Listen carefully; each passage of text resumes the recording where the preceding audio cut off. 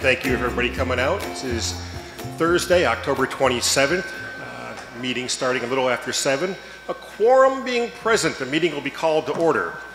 Return of the warrant shows it's properly been served. Uh, where are we on the voter count right now back there? 113. Okay, so we definitely have a quorum. Um, I would ask you at this time to join me in the Pledge of Allegiance to our nation's flag.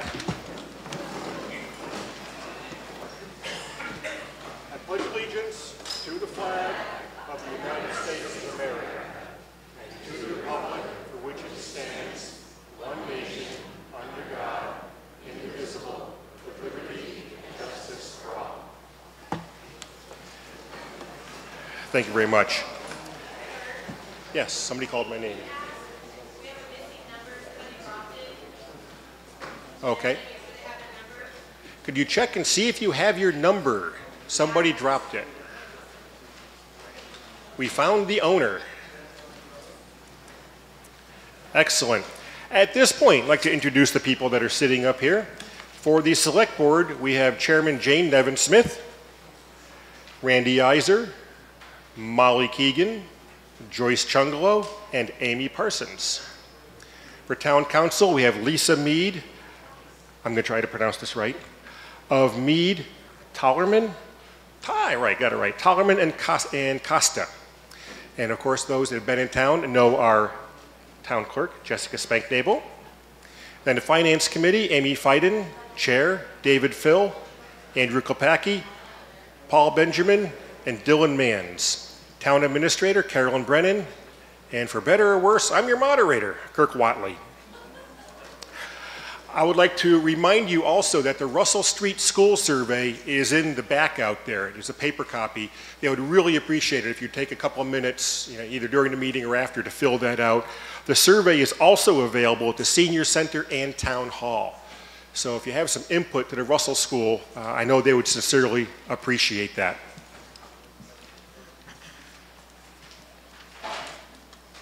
Now comes the boring stuff. Rules of the meeting. The meeting will be conducted, as usual, by town meeting time. If you wish to speak, I ask that you approach the microphone closest to you and wait to be recognized. State your name and your residential address each time that you choose to speak. Keep all comments to the article or motion at hand. Address all comments to the moderator and refer to any previous speaker that you wish to comment on as the previous speaker. You can talk as much as you want to, but just be sure to give others a chance to speak as well. And there'll be a three minute limit subject to moderator discussion so we can keep things moving along. And all amendments must be submitted in writing as soon as it is offered. And again, if you could just take your cell phones and put them on silent or vibrate, whichever you prefer, that would be great. Uh, something that's been added since I was up here last time. Um, entertain a motion to allow department heads and others who are not registered voters in the town of Hadley to be allowed to address the town meeting uh, from time to time for information. Do I have a motion? Second. All those in favor, please signify by raising your cards. Awesome. Thank you. All those opposed? Be it noted that was unanimous. Oh, yes, be it noted that was unanimous. You changed sides since the last time I was here, didn't I you? They keep, keep me on my Yeah, toes. I'm used to turning the other way. Okay. All right. Do-do-do. I'm going to be reading the articles in motion form and looking for a second. Once the article has been seconded, we will be addressing the article, and you're free to ask questions at that time. So, jumping right into it, Article 1. Move the town vote to amend fiscal year 2023 annual budget from $19,421,603 to $19,641,131 as funding therefore raised and appropriate and transfer from available funds the amount in Table 1A as presented at the October 27th, 2022 special town meeting and incorporated by reference herein. The Select Board recommends this 5-0-0. The Finance Committee recommends it 5-0-0. And to address this, I'd like to call on Carolyn Brennan, the Town Administrator. Uh, oh, I need a second, I'm sorry. Second. Thank you. Thank you, Joyce. Carolyn, you're up. Good evening. I'd like to explain what those requests are for increase. Uh, Line item 122 is the Board of Selectmen's salaries. We had an employee on medical leave for an extended period of time, and this was the cost to hire a temporary employee to fill in during those six weeks. 145 and 152 is impacts the treasurer's salary, and the human resources salary line item uh, pertains to support to our benefits coordinator as well. This is an increase for a part-time assistant that is shared between these two departments, and increasing this position to full-time will give, give each of these departments more clerical assistance, as well as providing support when either positions are vacant due to sickness, vacation, or other related absences. These are basically one-person departments, and so this will uh, be extremely beneficial for the treasurer as well as the benefits coordinator. 146 is the collector's hours. Uh, At the last town meeting, an increase of two and a half hours weekly was allocated to the treasurer's salary line item to provide tax title assistance to the treasurer. Uh, The assistant collector took on those uh, re- responsibilities and works down in, uh, obviously, the collector's office and um, is able to provide support to both of those offices during that time. So it's really kind of a housekeeping thing is to put those 2.5 hours back into the collector's salary line item.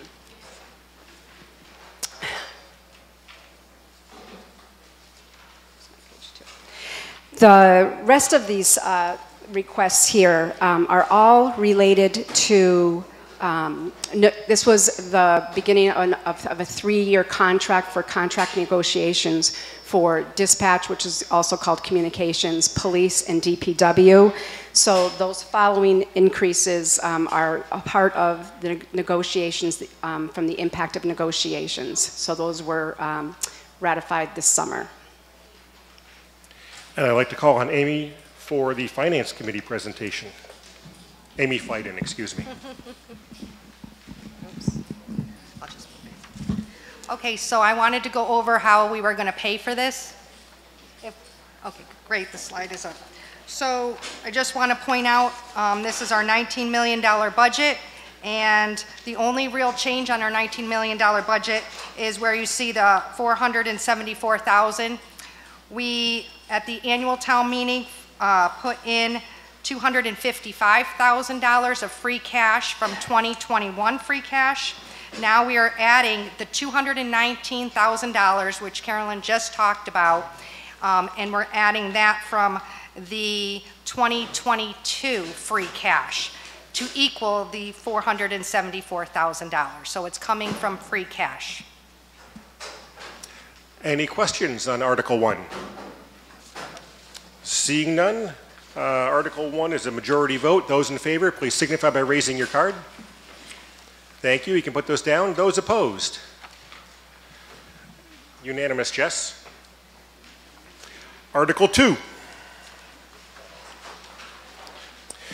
Move the town vote to amend fiscal year 2023 enterprise fund annual budgets from $2,482,697 to $2,522,319, and as funding therefore raised and appropriated and transfer from available funds the amount in Table B1 as revised below and presented at the October 27th, 2022 special town meeting and incorporated by reference herein. Do I have a second?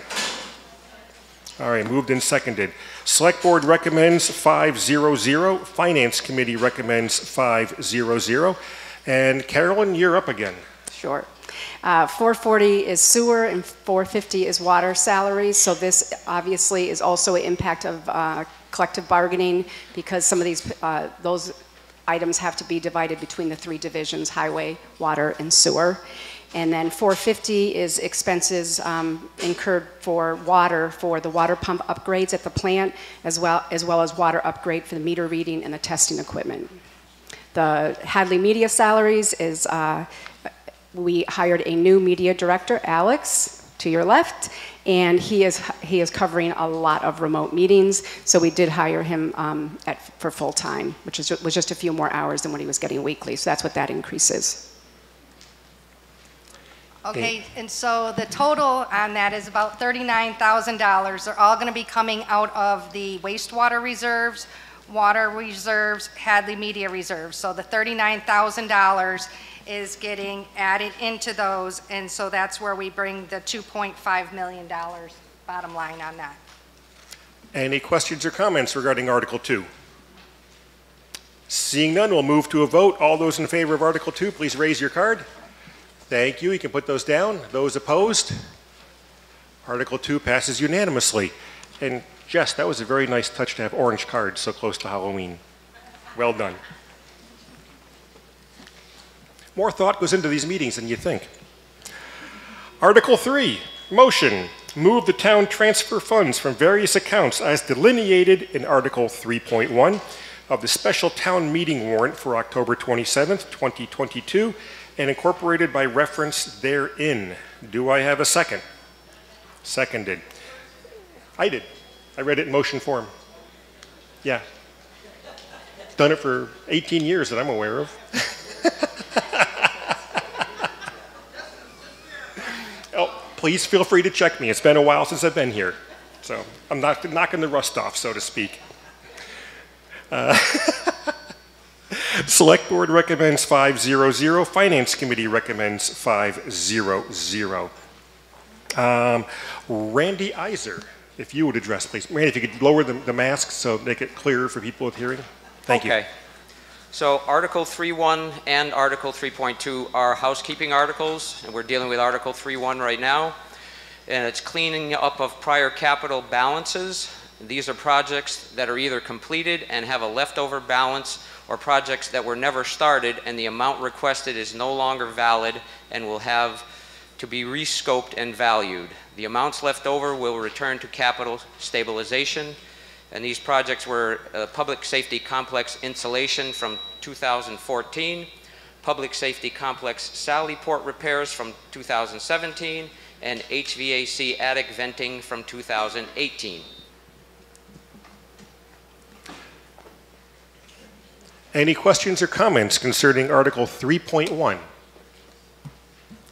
Edwin, if you could lower the mask down, just for clarity. Edwin Matuska, 116 Stockbridge Street. What the heck is the Sally port?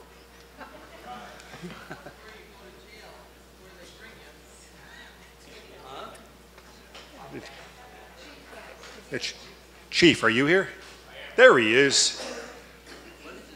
Hopeful, hopeful, Backdoor comes from a, a Latin term, uh, but to make it simple, it's a garage. everybody got that? It's a garage.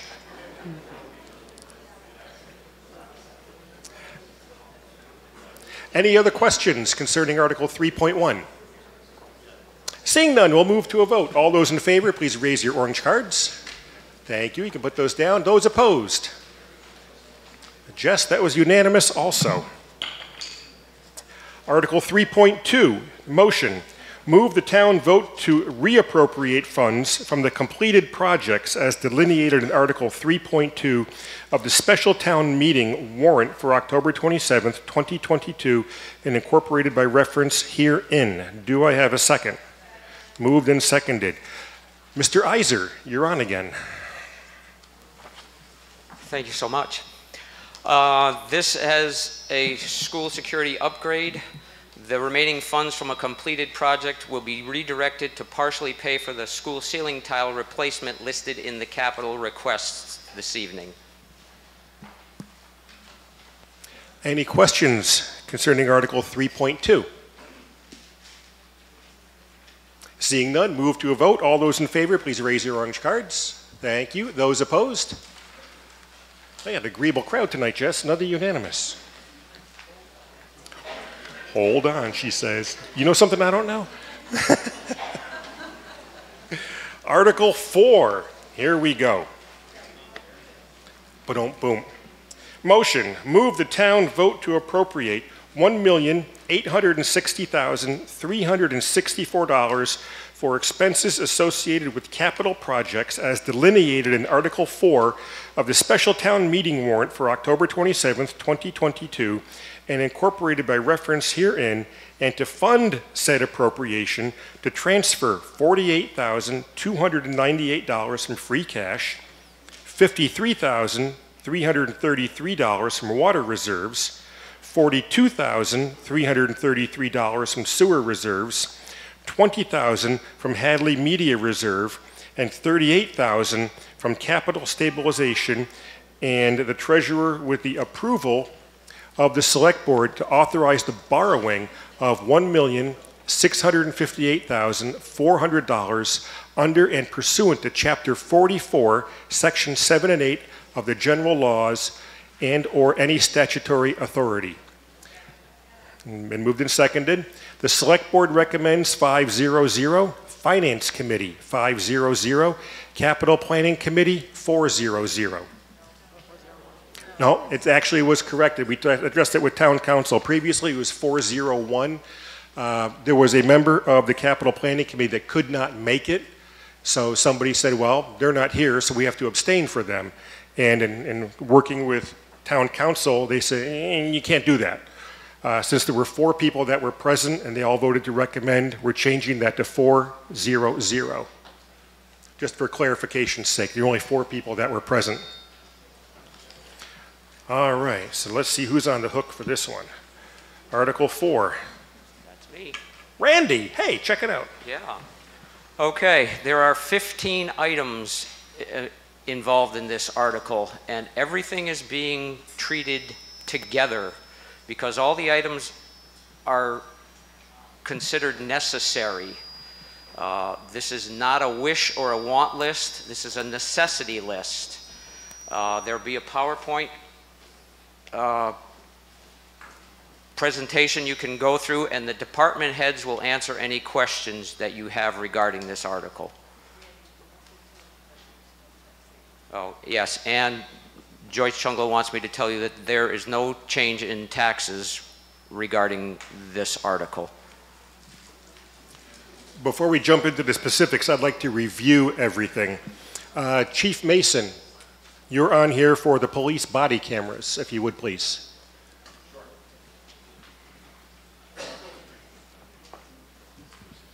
Good evening, everyone. Mike Mason, Chief of Police. Very short, three-slide, quick presentation for you. Uh, This is a technology replacement, technology upgrade for us. Uh, As you know, FY '19, somewhere around there, we obtained about $50,000 from a state, uh, from the state budget with the help of Dan Carey uh, to begin our body camera and cruiser camera program. We kind of broke it into two parts, and for some of the money, we came to town meeting in capital. Uh, The majority of the money, we went through uh, the state budget for it. Um, As we stand right now, this has been on our capital replacement because we're told that the technology does get older and, and it does need replacement. As we stand, the body cameras themselves and some of the docking systems and some of the technology that goes along with that is what needs replacing. The actual cruiser camera part of it, all of the things that go into the cruisers, uh, is, still seems to be working fine and still is holding up well. Uh, that's what we came to you folks for three or four plus years ago.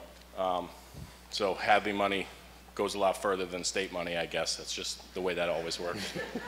uh, so what we're looking to, uh, to replace is our server system, the docking system, and the cameras themselves. The company that we went through originally for this was bought out by Motorola. Um, they have since basically discontinued the cameras that we are using, and things are taking so much longer to get and are costing so much more. We're uh, the cameras are going down quicker than we can kind of, than we can get them back up and running and out on the road. This is an extraordinarily valuable program for us. Uh, for the last, if you uh, go to the last slide, just so you know that we did our due diligence, we did try to get some grants or free money from other places. Unfortunately, with us being, we were the, we were the first town or city anywhere in our area that I'm aware of that had a full, fully operational body and cruiser camera program. It didn't pay off for us to be first this time around uh, because they're only offering grants as we stand right now for new or expansion programs. So as I mentioned, this is a scheduled replacement. It is on the early end of the schedule, but it is within the parameters that they gave us, and it is only about half of the system that we need replacement for. Thank you, Chief. Um, Again, I want to go through everything before we start asking questions, but Chief, I'm sure you'll have questions to be available. Um, I'd like to address the school ceiling tile replacements and smoke alarms. Christine Pitzinski? There she is, okay.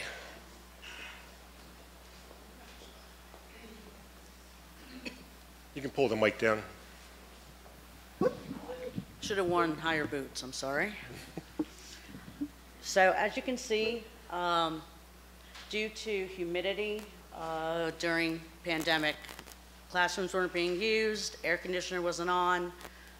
The tiles are very old and they started sagging and falling.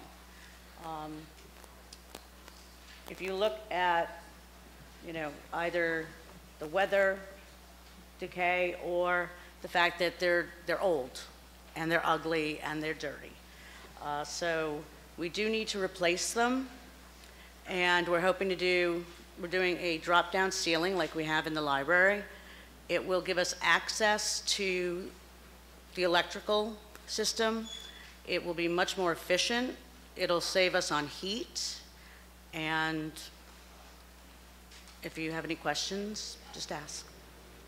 Christine, you do smoke detectors? Oh, also with the smoke detectors, this is essentially an upgrade, and I'm sure um, Chief Spanknebel can speak to this also if you need him to.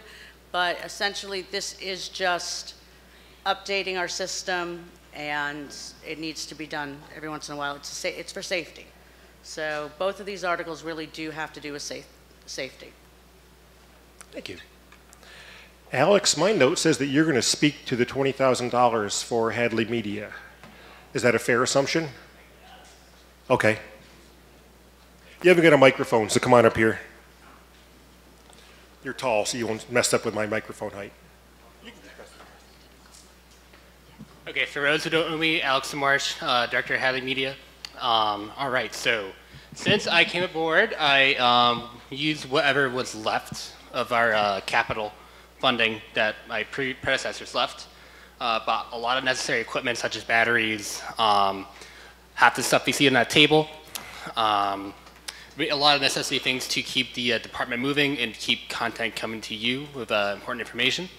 Um, first of all, all of this is coming out of our reserve fund, which has been allocated for years upon years upon years. We have about 170 currently right now before you guys vote on today. Um, we are asking for 20 grand. It's just a lump sum that we use throughout our tenure with our uh, capital purchases. Um, however, these are going to be some of the immediate um, purchases here. We have the uh, JVC camera. We're going to get two of those. Um, I've tried looking for similar cameras over here. Um, unfortunately, they don't really make them anymore, so we are forced to get those with the uh, new uh, battery. We're getting two of the uh, laptops on the bottom left corner for um, basic uh, small committee uh, um, meetings, such as the climate committee, climate change committee, uh, the uh, diversity, equity, and inclusion committee. Um, I hope I got that right, Mark. And um, Board of Health, when we get to it, pretty much we'll hook up our already already purchased owls, and we'll just uh, run it through a uh, program called OBS, which is what we're using to live stream to Facebook and YouTube tonight, along with uh, channel 192. Um, we're going to have a uh, production assistant and hopefully some interns from the high school come aboard. So we're getting some uh, headsets to communicate for events like graduation and other town meetings. And the bottom right corner is a, we're getting one more of those laptops. That's the current laptop on the table right there. Um, that'll pretty much be used for field shoots, such as sports and other events, and uh, meetings such as select board and town meeting and other um, uh, meetings. And that's pretty much the gist of it.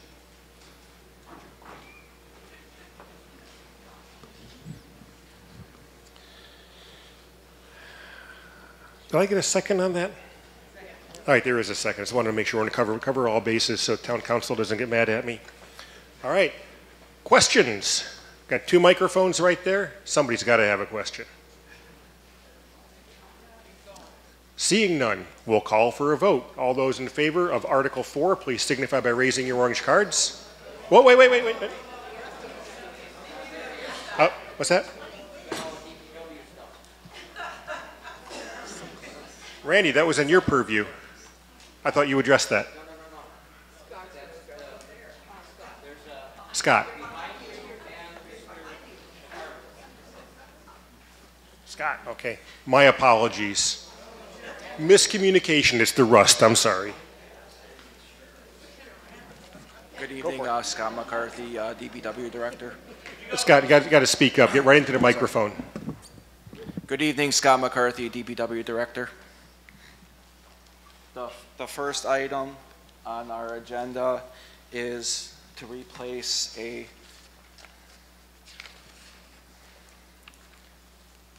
two thousand and eight Ford dump, one-ton dump truck. The, the, uh, vehicle has met its useful life, life for us. Uh, a couple years ago, it had a new body put on it, but the, uh, cab and a lot of the suspension parts are really starting to rot out, and the vehicle needs to be replaced. Uh, Estimated arrival of a new vehicle is two years. Uh, It's, it is not readily available. Uh, The next item is a 1997 International dump truck. It is used for sanding and plowing and paving of our streets.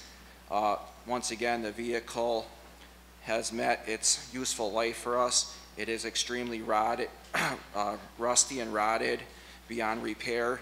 Around 10 years ago, the vehicle was uh, repainted and a new body put on it, but at this point, uh, the cab and a lot of the suspension is rotted beyond repair. Uh, There's another slide, I believe, next to show the frame on the vehicle. Uh, It's starting to separate between the double frame, so it's uh, in very poor condition. And, and once again, it is a plow truck and a sander in the wintertime. Uh, Callahan well reconditioning, uh, well number three in our water plant, uh, the production of water is uh, diminished, and we would like to rehab, rehabilitate the well to produce more water uh, every day. Uh, It's, a- it's a pretty standard procedure. The other ones have been done, and number three needs to be done now to increase the volume of water we can produce every day. Next is a 2014 Ford uh, pickup truck used by the water department. Uh, Currently has 85,000 miles on it. It's starting to uh, show its age and some rust and uh, minor mechanical problems. Uh, Once again, a replacement vehicle is close to two years out, so we're trying to be proactive in replacing this vehicle. Uh, Also, the new vehicle would have an enclosed back section. A lot of our tools in the vehicle are ex- exposed to the weather, and we'd like to uh, enclose that vehicle to keep everything out of the weather. Uh, Currently, the water department does not have any garaging for their vehicles. They are left outside. Uh, Next is uh, the mechanic's truck. It's a 2005 Ford pickup truck. Uh, It was originally the sewer department's truck. It was handed down to the uh, mechanic. It has 154,000 miles on this, and it is really rotted out. Uh, Today, we were trying to haul some lawnmowers with it, and the trailer hitch broke off due to rot. So once again, but that vehicle would, the sewer department is looking for the same vehicle. Uh, We don't have a slide of it, but it's on the art, the warrant for a same vehicle as the water department, and that sewer department truck would be handed down to the mechanic. So he wouldn't be getting a new truck, but we have a ve- uh, good vehicle in our fleet that be- can be handed to the, uh, me- the mechanic's garage. Sewer department roofs, roofs on the pump stations. In the Springtown meeting, we were approved seventy-five thousand dollars to do this project, and our estimates came in uh, $25,000 over budget. So we we were looking for an additional $25,000 to replace the sewer station roofs. Uh, Currently, they're, they are asphalt shingles, and we are looking to replace them with metal roofs. Uh, The grant study, we were awarded a $100,000 grant from uh, the state. We have to match, put in $25,000 to that. It's to do a study on the sewer system, the wastewater treatment plant for any kind of upgrades and the sewer system itself. Uh, So it's a real necessity for us to uh, look at the sewer system for any future needs that it may have coming down the road. So we are looking for $25,000 to match into the grant. Next is a 1984 Case tractor. Uh, It was given to the town through a military surplus. Uh, The tractor is currently uh, out, just about out of service. Uh, We can't get parts anymore for it, and it's got some mechanical problems that need to be fixed, and it's somewhat unusable. Uh, So we would like to replace that tractor. Uh, We do roadside mowing on it with it, uh, a lot of fields and stuff, the landfill we have to mow. We use that tractor, uh, water, water department fields and uh, various other uh, fields that go on with our water system and et cetera, and like I, and also roadside mowing. Next is a 1995 John Deere payloader. That vehicle has some mechanical problems, and we cannot get parts for it anymore. Uh, It's somewhat met its useful life for us, and we are looking to replace that. Next is a 1995 Ford Vactor truck.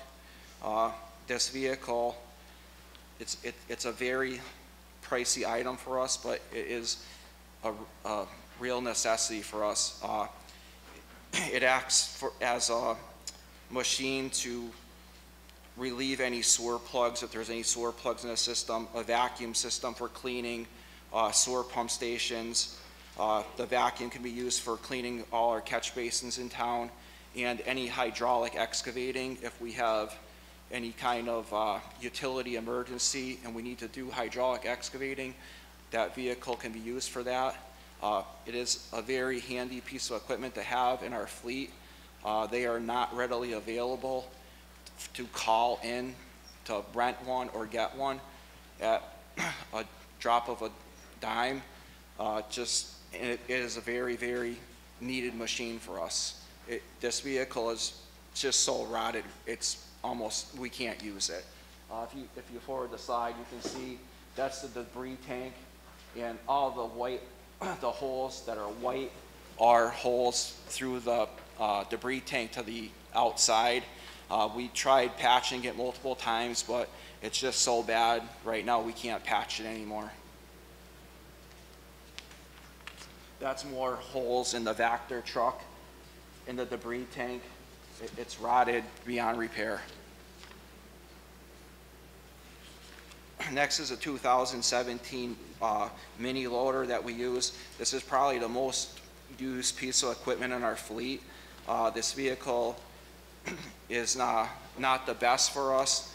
It's uh, very costly for us to maintain right now. It has a lot of mechanical breakdowns, and it's not under warranty anymore. The warranty was extended on it for a little bit of time because we're having so many problems, and now that is over, and we're still having mechanical breakdowns that we are now paying out of pocket. We'd like to replace it with something that may, may be, or is better for us, and will, and will, will not have as many breakdowns. Thank you. Thank you, Scott. All right, time for questions. Got a microphone there, a microphone there. Please, uh, if you have a mask, pull down the mask just for clarity of audio. Uh, State your name and your residential address. Shel Horowitz, 16 Barstow Lane. Is it typical for so many things to be needing to be replaced at once? I don't remember that in my years coming here. Anyone care to? Scott, would you care to address that?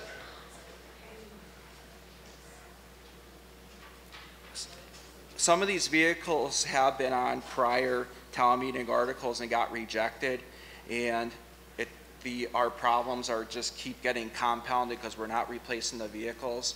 So that's why our list is so long.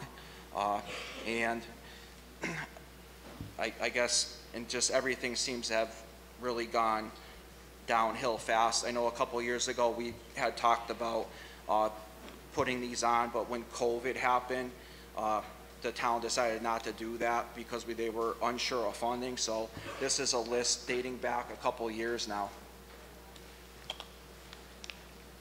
Peter Matusko, 19 Middle- Street. My question is, is why are we getting one-ton trucks? The GVW on a 350 or a one-ton is like 12,000, whereas a three-quarter is 10,000. So what's the difference of spending an extra $15,000 from a one-ton truck to just getting a three-quarter? And then the other question is, is for that mini loader, do you plan on getting the same mini loader that's going to be having the same problems? And what was the warranty that you purchased for that loader? What was that warranty for and how long? The mini loader was purchased before my uh, start at the town of, of employment. Uh, I'm not sure exactly what the manufacturer's warranty was on it. I know it was extended for some warrant, for some, because we were having so many problems with the emission system and other things. And we, we are looking to replace it with a different brand, uh, so it would be different. Uh, your, the, uh, your question about the trucks, the one-ton trucks with our, the weight we carry, we really need that heavier suspension on it, uh, of the, uh, 10,000 pound GVW on the one ton versus a 8,600 on a three quarter ton. Plus the plowing, we get a heavier front end on the one tons. So that's why we're looking to do that. And on the, uh, the 550 pickups, I believe those are 16,000 pound GVW.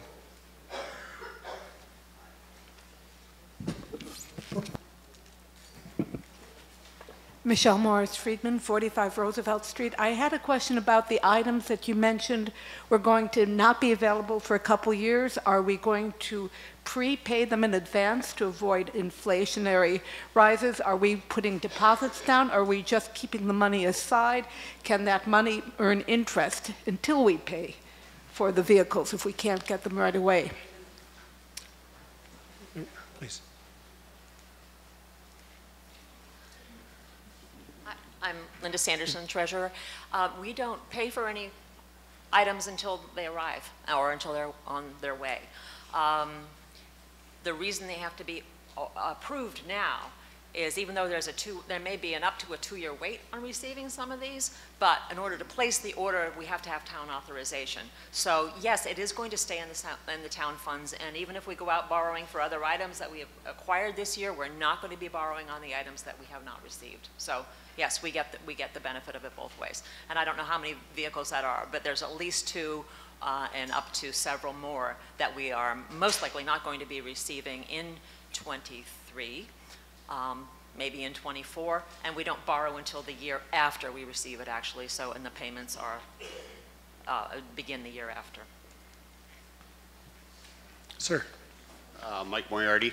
Uh, Mike, you can straighten the microphone up and be more comfortable. My question is on the vacuum truck. Um, Do you have any records showing how much that truck was used over the past year, two years, three years? Um, Just to prove that it's worth spending $600,000, because that's what the new one's going to cost.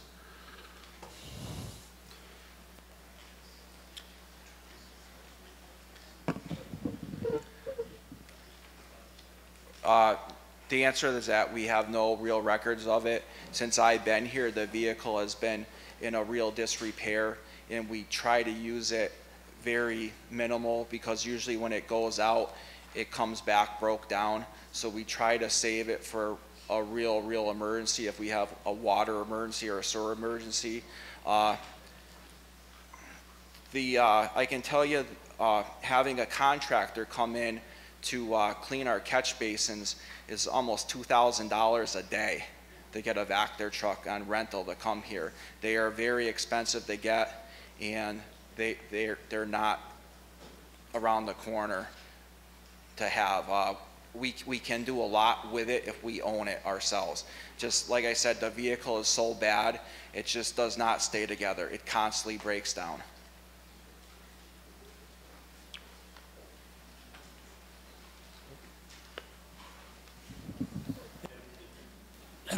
Edwin Mantusco again. Um, on the sewer grant match study department upgrades, you mentioned 25,000. It says here in my uh, article that it's 24,000. Was that just a... Okay, thank you.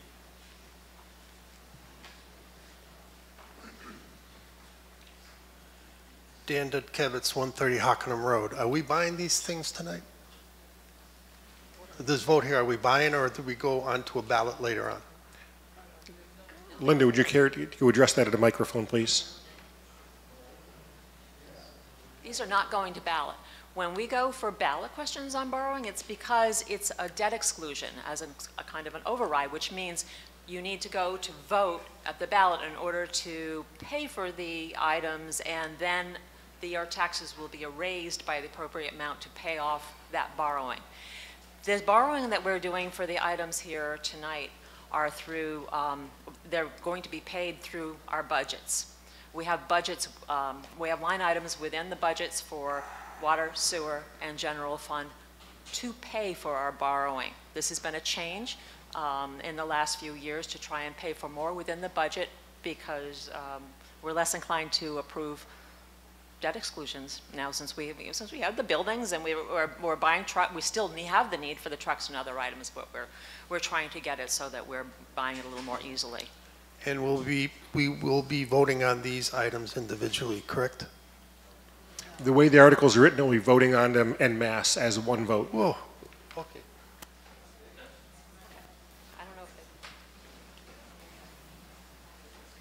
it- Peter Matusco. My question is, when it comes to the dump truck, and I know because of the salt and the usage of it, now, would we be able to allocate money because of the rotting of the frames, whether if it's this vehicle or other vehicles, to having regular undercoating, to saving and prever- preserving things like the rusting of the bottom of the vehicles and the frames? Because it seems like it's all because of rot is the reason why we're replacing all these vehicles is because of rot. Is there going to be any type of prevention for these vehicles to not have to spend five years down the road because of all this rot?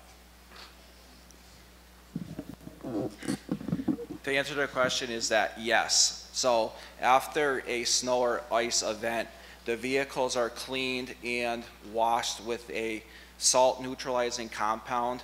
And in the spring, the, the trucks are thoroughly washed and steam cleaned.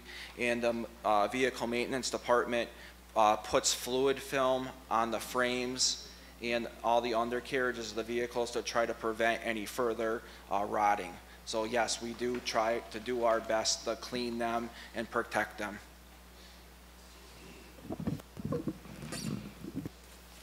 Dina Friedman, 16 Barstow Lane. If we vote for this article, and many of these appear on the ballot, are they, do they appear individually, or are they appearing as one package? It's not going to appear on the ballot. If we vote on it and we approve it tonight, it's a done deal. I thought it was, goes for voting for Prop two and a half. No? No. Okay, sorry. No, It's okay. Steve Simco, it's 81 River Drive, uh, the same thing Peter was talking about with the oil- undercoating. Steve, into the microphone? Yeah. Just- We can't hear you. No, all right. You said that you spray the frames underneath and everything, but what about the doors and the fenders and the cab corners and over the wheel wells? That's where they're rotting. These trucks with 80,000 miles on them with diesels should last a lot longer than 80,000 miles. They need to be oiled the right way, not just the frames, but everything, 100%. Yes, every, every, everything is sprayed with fluid film. I understand what fluid film is, but they gotta get inside, do it the right way, with the doors and the cab corners and everything, not just the frames. And any area that is open that he can get the fluid film in with a, a straw or whatever he puts on the application gun, they spray. Uh, the smaller vehicles go up on the, uh, the car lift. Yep. To, uh, get, and on the bigger trucks, we have to obviously do it from the ground. Right, So we try to get every living cranny as, as we possibly okay, so I, the same question, okay. Were you guys able to hear that in the back? Okay, good. I want to make sure Scott was heard. David Phil. Sorry. Just pick it up, Dave, yeah.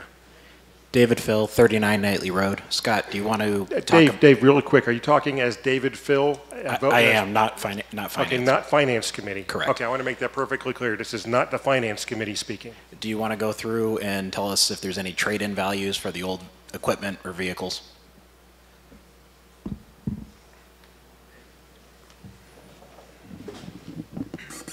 There is trade-in value for all the equipment. Uh, Some of the the vendors do not want to put a number on it yet because that the replacements are so far out. I only have a tentative number on the payloader. Uh, One, it was just one person that looked at it thus far. They offered $28,000 trade-in on the payloader. But the other vehicles, no vendors have put any numbers on it yet because they're not sure of the condition or how many more miles or hours will be on that equipment when the new equipment arrives. But there is money available for trade-in.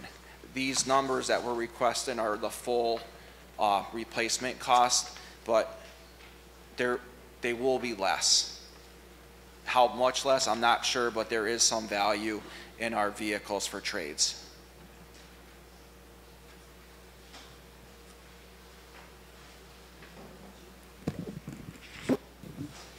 Michelle Morris Friedman, 45 Roosevelt Street. I'm wondering on the more expensive items, particularly the sewer Vactor, which sounds very important, um, has an analysis been, analysis been done about the average need per year that you've been renting sewer Vactors over the life of the vehicle, over 10 years? What would renting it cost compared to buying it?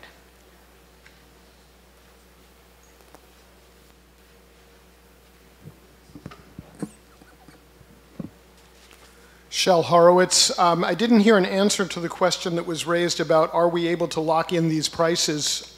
Um, I heard that we don't pay for it right away, but that piece wasn't addressed. Linda? Or Scott? Scott, okay, Scott's got it.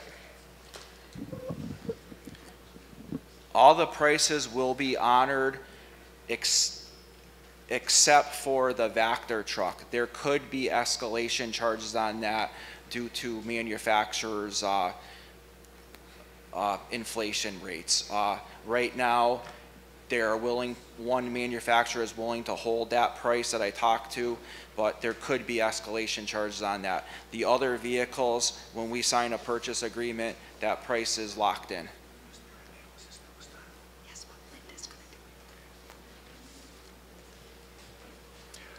Um, Linda, um, a question about analysis for the Vactor. Was that done that you're aware of? Okay. Uh, No, an analysis has not been done, and like I said, uh, when we go out with it, it's at a very limited use. Uh, Catch basin cleaning and stuff, we are actually lacking on. Uh, We could be doing a lot more, but it's so costly to us to do that with a contractor, we do the bare minimal. Any catch basin that is over sixty percent of capacity is supposed to be cleaned to meet our MS4 permit, and there's a lot more of them that need to be uh, cleaned on a regular basis than we can do. We, we, we cannot afford to clean our catch basins, uh, to hire it out. It- it- We would, we wouldn't be able to afford it.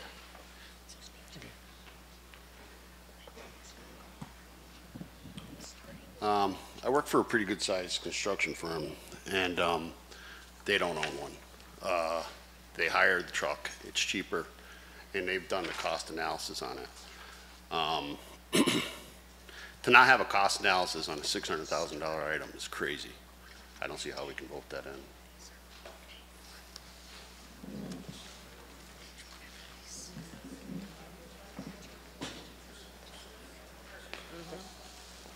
Um, Hold on for one second, Jane.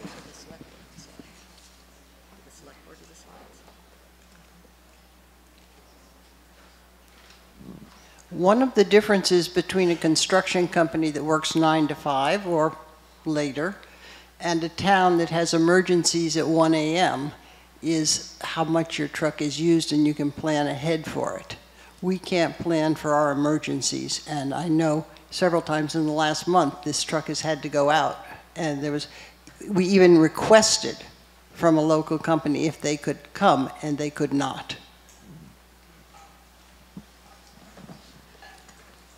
Yes, sir. Uh, Dan Kelly, 117 Stockbridge Street.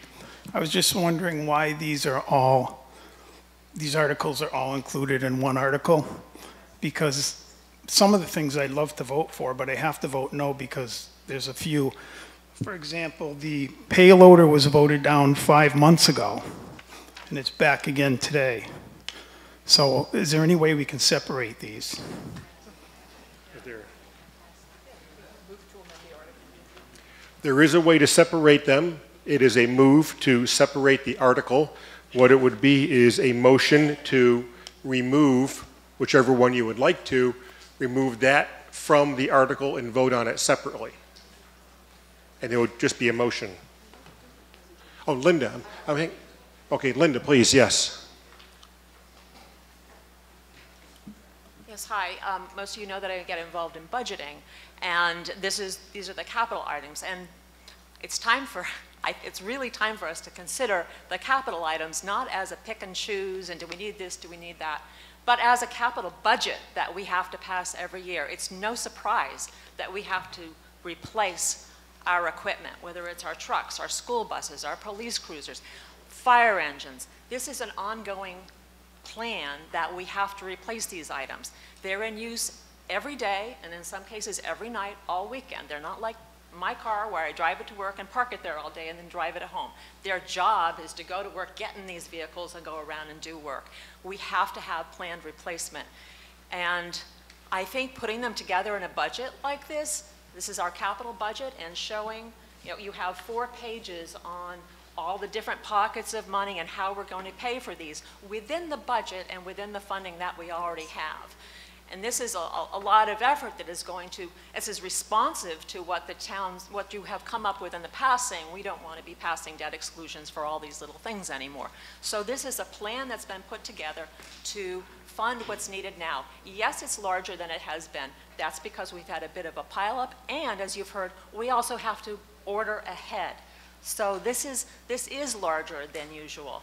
There is going to be a put, I think the committee has already been put together to work between now and annual town meeting to anticipate whether they are going to continue to be uh, this large, and therefore we need to come up with another um, way to approach our capital funding? Do we need to find a stream of income for the capital stabilization account?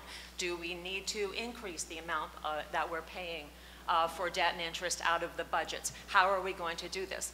Um, we have some extra cash on hand now. Um, if you've read through and seen the balances, we've got some pretty healthy balances in there, and we want to we want to use it to purchase some of the items, but we don't want to drain it. Otherwise, we don't have options between now and annual town meeting to come up with what's the best way to put that money to work for us to uh, take care of the town's needs, much of which is this capital uh, budget. So um, I know we've done it that way in the past, but we have to think of this as we have to keep uh, we have to keep this business running. This is what DPW does. This is what police, fire, this is what our groups do. They go to work and they get in these vehicles and they wear them out. And we have to have planned replacement. And if we, if there's one in need of replacement as, and as a group of a hundred something people decide, no, not that year, that's not really, that's not, that's not really keeping our our uh, departments in business. And that's not really keeping your roads and your sewer and your water. That's not keeping us taken care of the way uh, the way we're supposed to be serviced. So there is a reason to, for this, and um, you know, obviously you have the, the choice of approaching it in a different way, but I just wanted you to know there's, there is uh, an explanation, and I, and I hope you will consider that.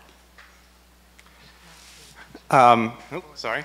Uh, Michael Boyle, 77 Hockanum. Uh, since the payloader was brought up, uh, having being voted down in the spring, uh, my recollection of that meeting was that the concern was an issue of um, the uh, where the funding was coming from and the split from the water versus other uh, things. Has that been modified at all or, or addressed? Because I don't recall it being so much a matter that people didn't think it was necessary, but were concerned about how the funding was being allocated.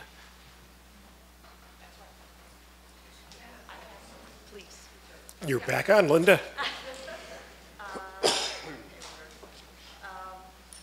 Yes, that's right. Um, I watched that from home. I was, I was out, I was not here at that meeting. I had, I was uh, out on medical leave. And yes, it was frustrating to see it went down because of the allocation between water and uh, general fund, how it was being funded. And it kind of got off track into, into that, and therefore it was voted down. Um, So, uh, uh, back to the drawing board, I mean, the, the need, it was never said, nothing ever came up at that meeting saying that we didn't need it. It was just how it was going to be paid for. And so, as I said, we put more of an effort into how these things uh, are going to be funded and what's the appropriate funding for it. Scott has done some work with uh, his department to find out what the, uh, what a better allocation is between highway and water. I believe it was at 50-50 before, and now it is one quarter, three quarters. One quarter of it will be paid out of, um, uh, the debt and interest will be paid out of uh, the the water receipts, and three quarters of it will be paid out of the general fund. Brenda Fidenkevitz, 99 Rocky Hill Road. You know, I, I take a, a little bit of offense to all of this. You know, I own a business, and if I want, oh, sorry about that, I don't know how, to- I'm not good with technology, but um, my thing is that when we have equipment, we have to plan well in advance. I can't just say, oh, we're, we're going to do this, and I know we have to plan. That's really vital to our town. We cannot come up with money like that. But I'm saying, if we've got all this extra free cash, we have to put some away. I understand that. But you know what? There's a lot of hurting people here that, you know, if we've got extra cash, we should give some back to the taxpayers. I mean, really. You know, I see this, I see this equipment, and I understand, Scott, you have a hard job to do. I understand, I know, I deal with equipment every single day.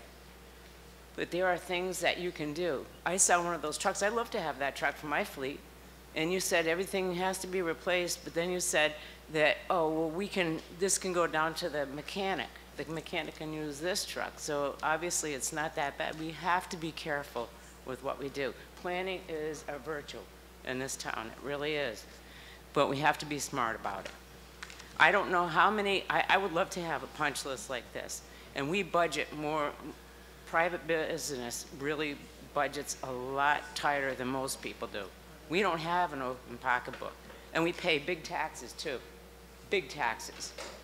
So I understand, but we need to be smart. Some of the things that you guys are saying, I love that punch list. I can't do it. And I know that you were saying, uh, Ms. Nevinsmith, that, you know, they go out all the time. Yeah, they do, but I'd like to see the records of how many times. I know they go out. We go out too. We have emergency jobs with our property, so it's not nine to five. Mine's 24/7. Thank you. Dan Kelly, 117 Stockbridge Street. And Scott, I don't mean to be disrespectful, but I would ask that we take the vac truck and the payloader out of this vote.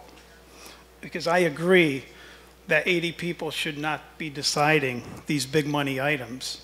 So we want to spend a million dollars and 80 people are going to decide this in a 5,000 person town. So I ask we take the Vactor truck and the payloader out. Is that a motion?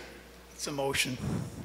All right, there's a motion to remove the Vactor truck and the payloader from Article 4.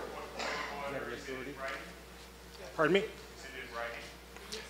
It needs to be in writing. If you could get that to us in writing up here.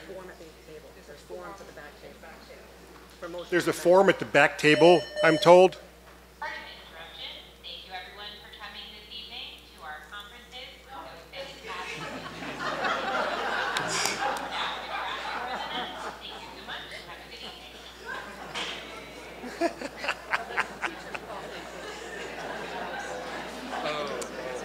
Little bit of levity at the right time.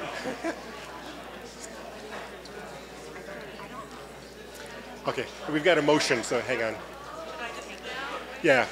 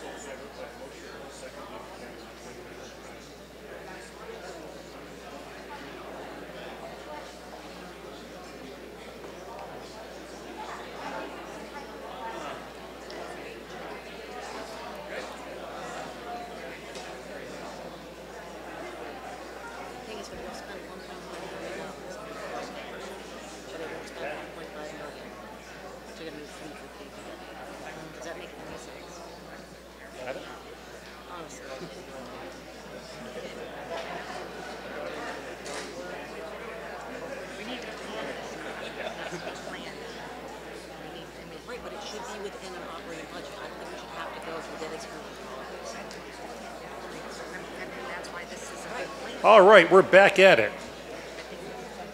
The motion is made to amend Article 4 to remove the payloader and the Vactor from the truck from Article 4. Is there a second? second. Moved and seconded. At this point, for, I'd like to call on uh, Linda Sanderson for, is that what we talked about? Talk about the budget, yes. Please. Okay, I've been asked to go down through you these, we have four slides, and when, in your case, you've got, they're in your packet. Is it the green, Jennifer? It's the Okay, The- in the green packet, there's four, um, there's floor blocks in a row. Close to the microphone? It's not working? No, you're Oh, just closer get closer? Yeah. Okay.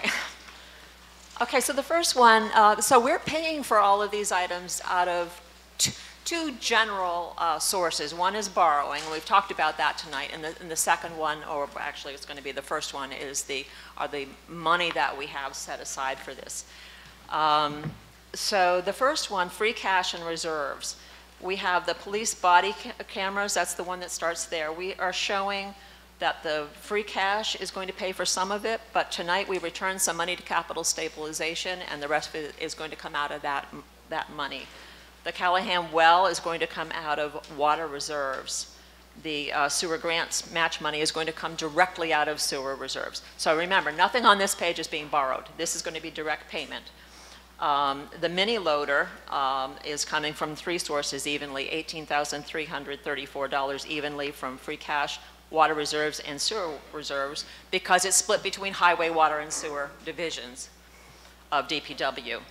The school smoke alarms will be paid directly out of free cash, and Hadley Media equipment will be coming directly out of um, Hadley Media reserves. So what does it do to these funds? On the next page, it will shows each of these funds and how much we are, how much we have going into the meeting. So uh, the first column is our free cash. We are starting this town, this meeting, these are all balances as of July 1 that was certified by the state. We have $1.7 million in free cash. The part, the budget ports, portions of this and other articles, uh, we're spending 234,000. This current Article 4, taken right from the prior page, we're spending $48,000 in capital, leaving at the end of the meeting, and it'll be available for our annual town meeting, uh, $1,468,000. Water reserves, we were, we were certified at 1.2 million.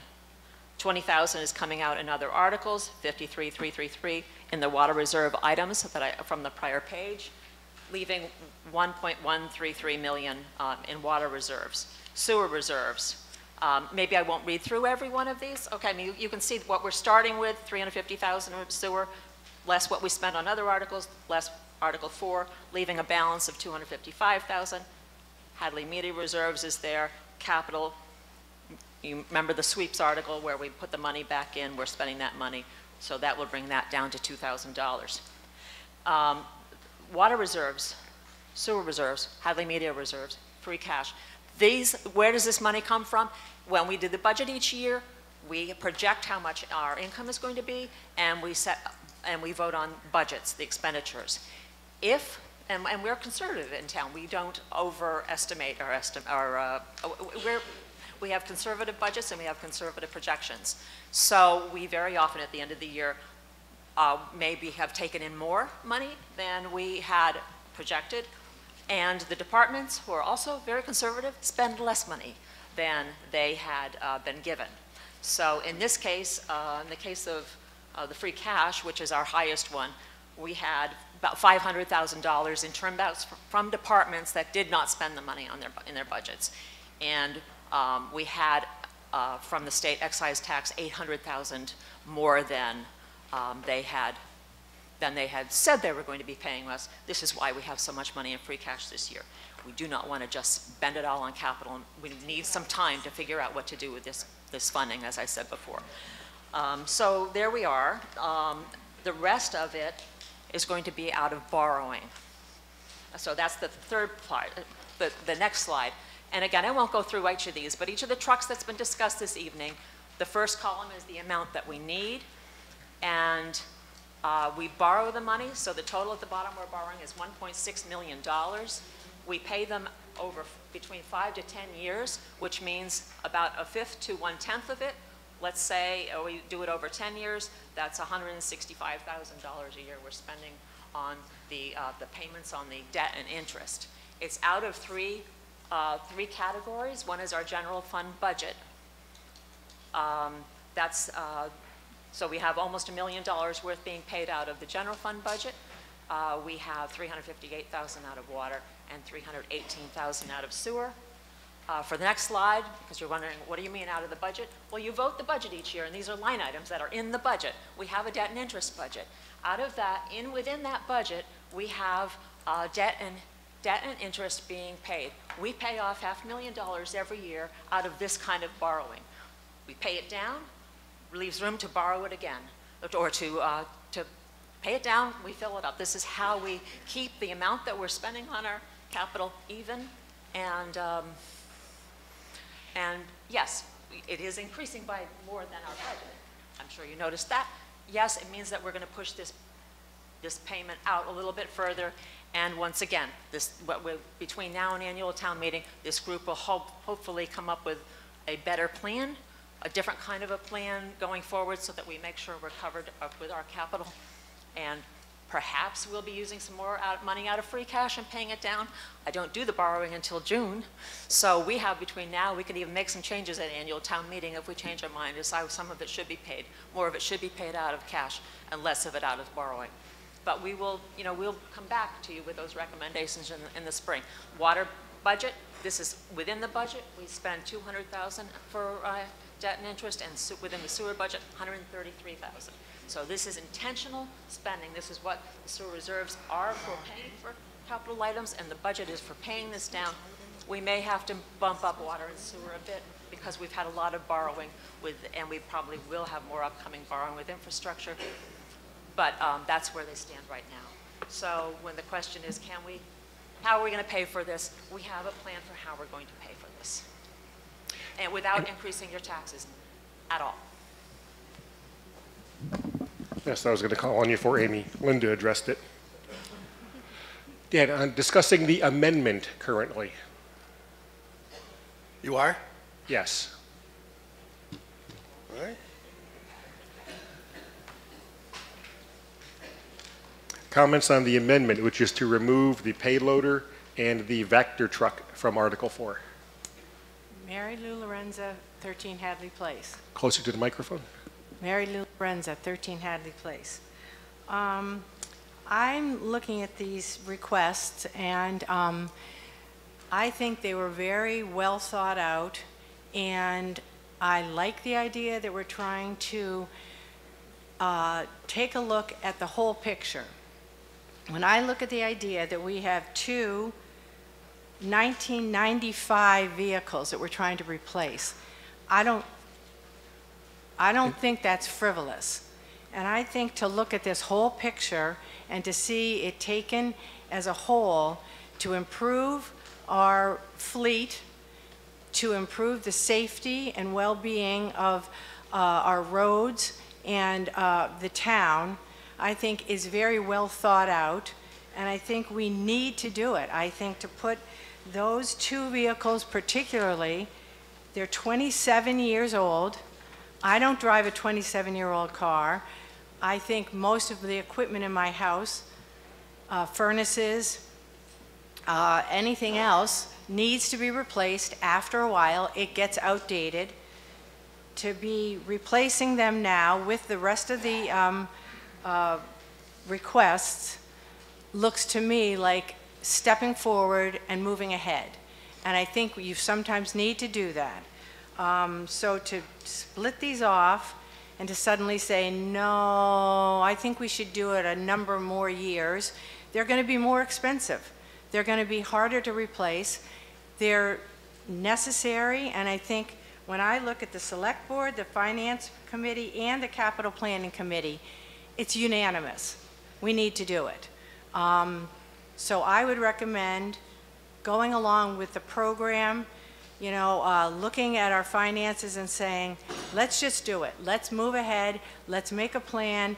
Start maybe replacing our vehicles on a better um, routine But right now, uh, I don't, I don't have a problem keeping this all together, so I would vote against that amendment.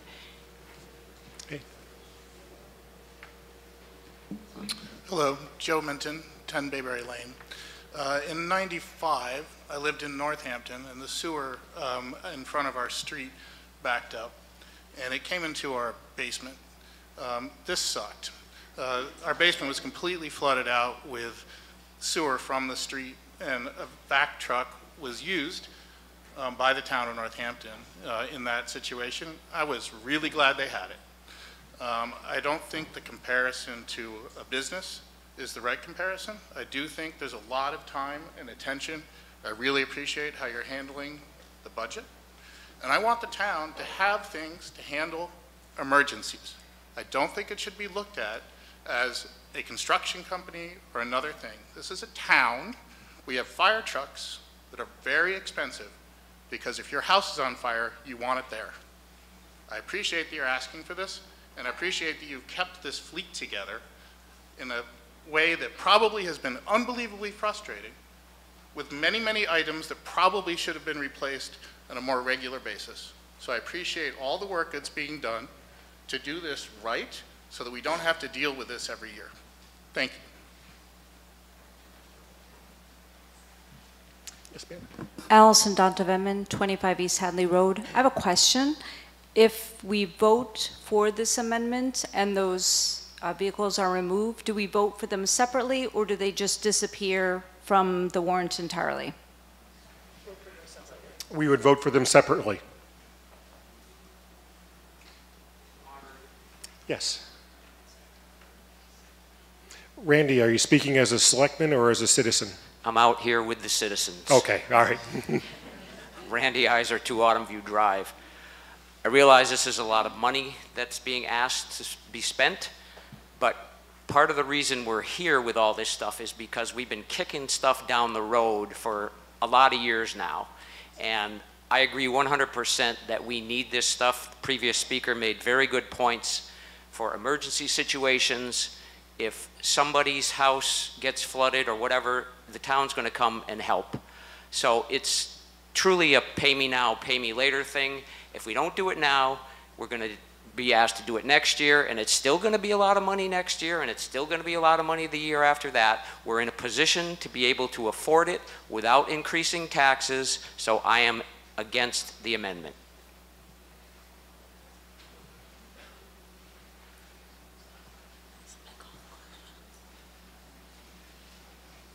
You can tilt the microphone down. so- Diane Stengel, 43 Breckenridge Road. Um, I am definitely for this amendment for similar reasons in that uh, this is the first time in many years of going to town meetings that I see a coherent approach to the budget of all of these pieces of equipment and also uh, an attempt to show us the need for that equipment. And I, I I really appreciated the graphics uh, because it makes the point that we have in fact kicked the can down the road. And if we were going to ask for statistics, and I know this isn't fair because you're not, you haven't been here very long, uh, is it Scott? Um, but I would like to see how many years we've turned them down. a long list of years and items which have just been rejected for, you know, one reason or another because someone didn't think that particular piece of equipment was necessary. I'm very proud of our town. Um, I'm proud of all the things that we've seen in how hard our employees work, and I appreciate that very much. So I want to thank you for that. And I think we, uh, we need to be more responsible fiscally than just simply line item by line item justifying each and every piece of equipment in this town. That would take forever if we really started to go down that road or continue in that road. Um, so it really needs to be a coherent, I don't care if you're a businessman or a private person, you have a plan in your budget. You don't, uh, you don't just throw money around a little bit. It's called being penny wise and pound foolish, as I have heard it said. So um, I really appreciate this, what it looks to me like a new approach uh, to our budgets in Hadley. And um, as things get more complicated and we have to wait two years for a piece of equipment, we have to be proactive and plan ahead. Um, so I really appreciate uh, the way it's done, and I would also vote down this amendment. And just as an aside for taxes in Hadley, for giving back money to taxpayers. Um, I would like someone to uh, verify this, but uh, my understanding is that Hadley uh, has the, one of the lowest tax rates in the state. Was there a speaker that approached a microphone over here? No? Okay. Yes, sir.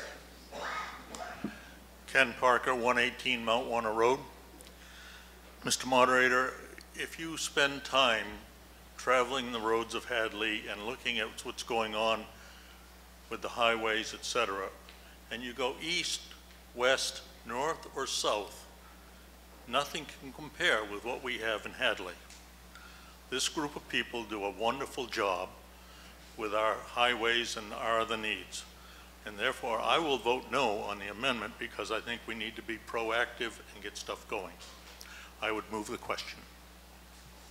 Can't move it after you speak. Does anyone else care to speak? Nice try, Ken. You should know that. You were a moderator for a number of years. okay. I'll get my asbestos underpants on. Yes, sir. Rick, Rick Thayer, 179 Hockanum Road. Mr. Moderator, I'd like to move the amendment. Move the amendment. No more discussion can be allowed. This is the majority, right? Two-thirds. Two-thirds. All those in favor of moving the amendment, please si- signify by raising your card. Wait, wait, hang on, what, what, what? That means no more, I'm sorry, it means no more discussion, we move right to a vote. I apologize. We are voting to confirm that discussion is over and that we want to vote. Okay, raise your cards if you think the discussion is over. Holy smokes. All right, put those down. Anyone disagree? Jess, note it unanimous. We will move directly to a vote right now. This is a vote to amend Article 4 to remove the payloader and Vactor truck from Article 4, which would mean that we'd vote on them independently. This is a two-thirds vote. All in favor of the amendment to remove? Oh, simple majority. I apologize. Um, all those in favor of removing the payloader and the Vactor truck from Article 4, please signify by raising your orange cards. Uh, one, two, three, four, five, six, seven, eight, nine, 10, 11, 12, 13, 14, 15, 16, 17, 18, 19, 20. Thank you. You can put those down. All those opposed? Okay, article to amend, or motion to amend fails. Any further discussion getting back directly to Article 4? Seeing none, we will move to a vote. All those in favor of Article 4, please signify by raising your cards. This is a two-thirds vote. Thank you. You can put those down. All those opposed? Article 4 passes.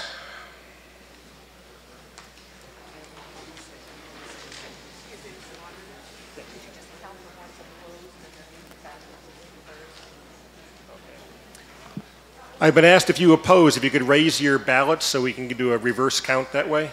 If you were opposed to Article 4, please raise your cards. We just need to do a quick count. One, two, three, four, five, six, seven, eight. I count eight. Okay. Sorry, Jess. All right, Article 5. Move the town vote to appropriate $17,661.67 and transfer funds as delineated in Article 5 of the special town meeting warrant article um, October 27th, 2022, and incorporated by reference herein. Select Board recommends 500. Finance Committee recommends 500. Seconded. This is a nine-tenths majority. Carolyn, I'd like to call on you, please.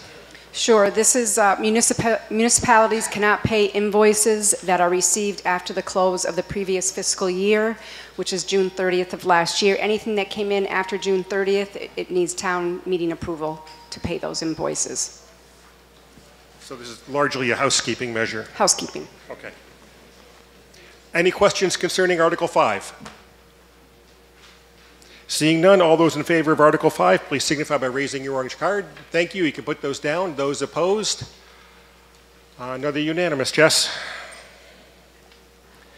Article 6, CPA extensions. Motion, move the town vote to extend the completion deadline for the CPA projects delineated in Article 6 of the special town meeting warrant for October 27th, 2022, and incorporated by reference herein. The Select Board recommends 500. Community Preservation Act Committee recommends 600. Finance Committee recommends 500. Seconded. Carolyn, is that you? No? Article 6, Mary Thayer, I'm sorry, Mary, there you are. Sorry about that, Mary. Mary Thayer, 179 Hockanum Road. I'm Chair of the CPA Committee. When a, when a warrant article is um, approved at town meeting, there's usually a time limit on how long the project can take. Um, And these two are almost done, they just needed a little more time. Um, The library window and bracket um, was taken out of the Hooker School that was knocked down, and the library is incorporating them in a way, and they haven't quite finished doing that, so they asked for a one-year extension. The Hockanum Cemetery fence um, has been, this was the first appropriation for that, and most of the funds um, that were originally given at the ATM 2021 have been spent. There's just a little more, and they're not quite sure it'll be done it wasn't quite done as of for today, so they'd like another extension on that as well. Okay. Is there any questions? Was this um, Article 6? Let's get, I get a second on that. Okay, good. Want to make sure we get that covered. Any questions or comments regarding Article 6? Seeing none, all in favor, please signify by raising your orange cards. Thank you. You can put those down. Those opposed? Unanimous, Jess. Article 7, move the town transfer funds to and from various accounts as delineated in Article 7 of the special town meeting warrant for October 27, 2022, and incorporated by reference herein. Select Board 500, Community Preservation Act 600, Finance Committee 500. Thank you. Barry, you're up. These are more, um, Mary Thayer, 179 Hockanum Road. These projects are either, do, do not need the money for one reason or the other anymore. They're either done or they, or they weren't done. Um, the Russell School roof, 8,000 had been appropriated in 2019. Turns out a lot more is needed than 8,000 and there's a um, study going on um, to really take a look at that. So the 8,000 that was um, approved back then. It, we're asking to have it come back into the CPA historic um, bucket. The emergency rental assistance, um, the 25,000 that was appropriate actually was not spent and the program has ended. The state had a lot of um, help for renters um, and so the, the town amount actually wasn't, um, wasn't a, used for anyone and they've ended the program. So that needs to come back to the housing. Russellville Cemetery was originally approved at 30,000. It came in a little under 15,000, so the project has ended, and this can be returned.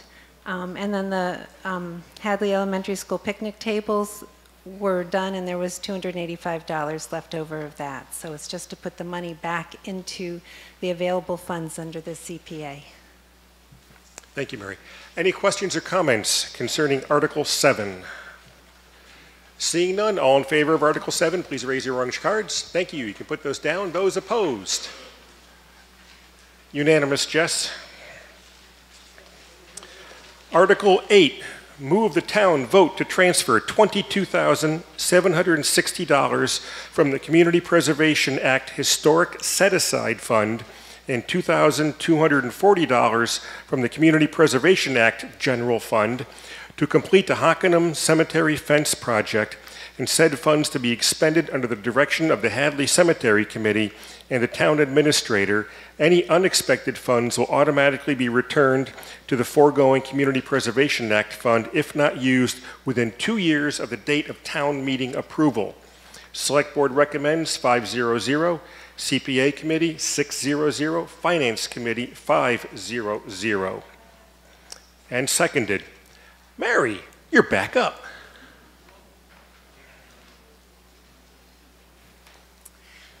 Actually, I, Berg is chair of the cemetery committee. Maybe he can speak. Alan, we're bouncing it over to you. You're on.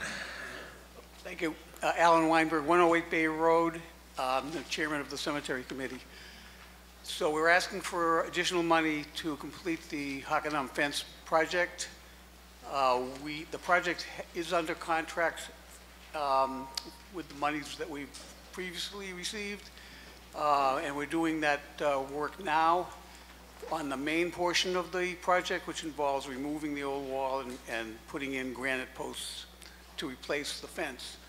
Uh, We were not able to um, uh, contract for the, for two additional elements of the project, which involves upgrading the turf parking area along, the- along the uh, fence uh, and the road, and uh, building a a pillar uh, using the old stone to commemorate the old wall.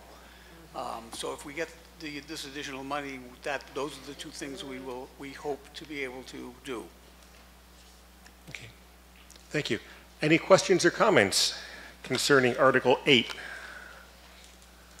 Seeing none, all in favor of Article 8, please signify by raising your orange cards. Thank you. You can put those down. All those opposed? We have two opposing. Other than that, the motion passes. Article 8 was a majority vote, so Article 8 does pass. Article 9, Hopkins Playing Fields. Move. Move the town appropriate $1,546,700 for the Hadley Public Schools Hopkins Academy Athletic Fields Rehabilitation and Creation Phase 2 project. Said funds will be expended under the direction of the Hadley Public School Committee and the town administrator to meet said appropriation vote to transfer $90,000 $90,965 from the Community Preservation Act Open Space Fund, $705,735 from the Community Preservation Act General Fund, and the treasurer, with approval of the Select Board, is authorized to borrow $750,000 under Mass General Law, Chapter 44B, as in Bravo, or any other enabling authority, and to issue bonds or notes to the town, uh, notes of the town therefore. The Select Board is authorized to enter into such agreement or agreements on behalf of the town as may be necessary to accomplish the purposes of this motion. Any amounts remaining unexpended or unencumbered at the end of two years from the date of this vote shall revert to the Community Preservation Act Fund. The Select Board recommends 500. Community Preservation Act Committee recommends 402. Finance Committee recommends 500. Do I have a second? Let's see. This is going to be Article 9. Mary?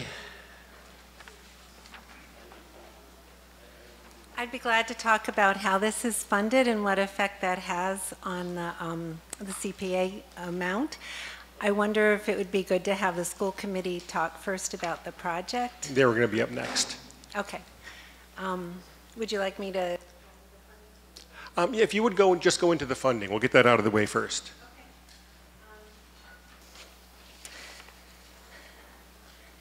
The CPA fund has available, um, right now, this is a little updated from the the June 30th figure, 2 million. That was 2,400,000, correct? Okay. I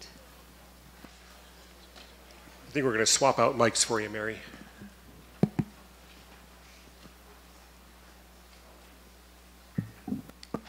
Test. Okay, is it- that sounds good. Thank you. go. So 2,411,000, um, and of that, um, and that includes what we just voted to put back into the CPA available fund. Um, 208,000 of that is set aside for housing and can't, can't be used for either the cemetery or the um, playing fields. Um, So what we wanted to do, why we said to do bonding, is just to make sure that we have flexibility in the future. Um, If we do this project and it's voted on tonight, um, we'd be left with 775,000 available in the CPA fund, and again, 208 of that is set aside for housing.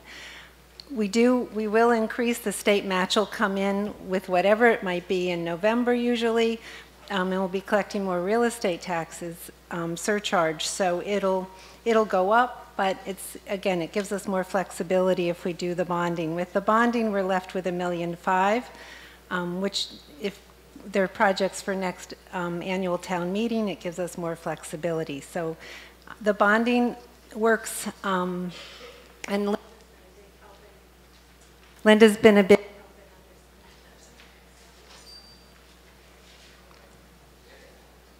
We'll just swap it out.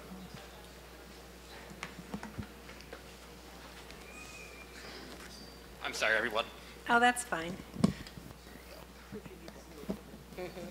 You're just proving you need the new equipment we voted on. Um, The way the bonding works, this is different from the other town bonding. Um, It does require a two-thirds vote at town meeting. It does not go on to a ballot vote. It does not affect the tax rate at all because it's taken out of future collections um, in the CPA fund.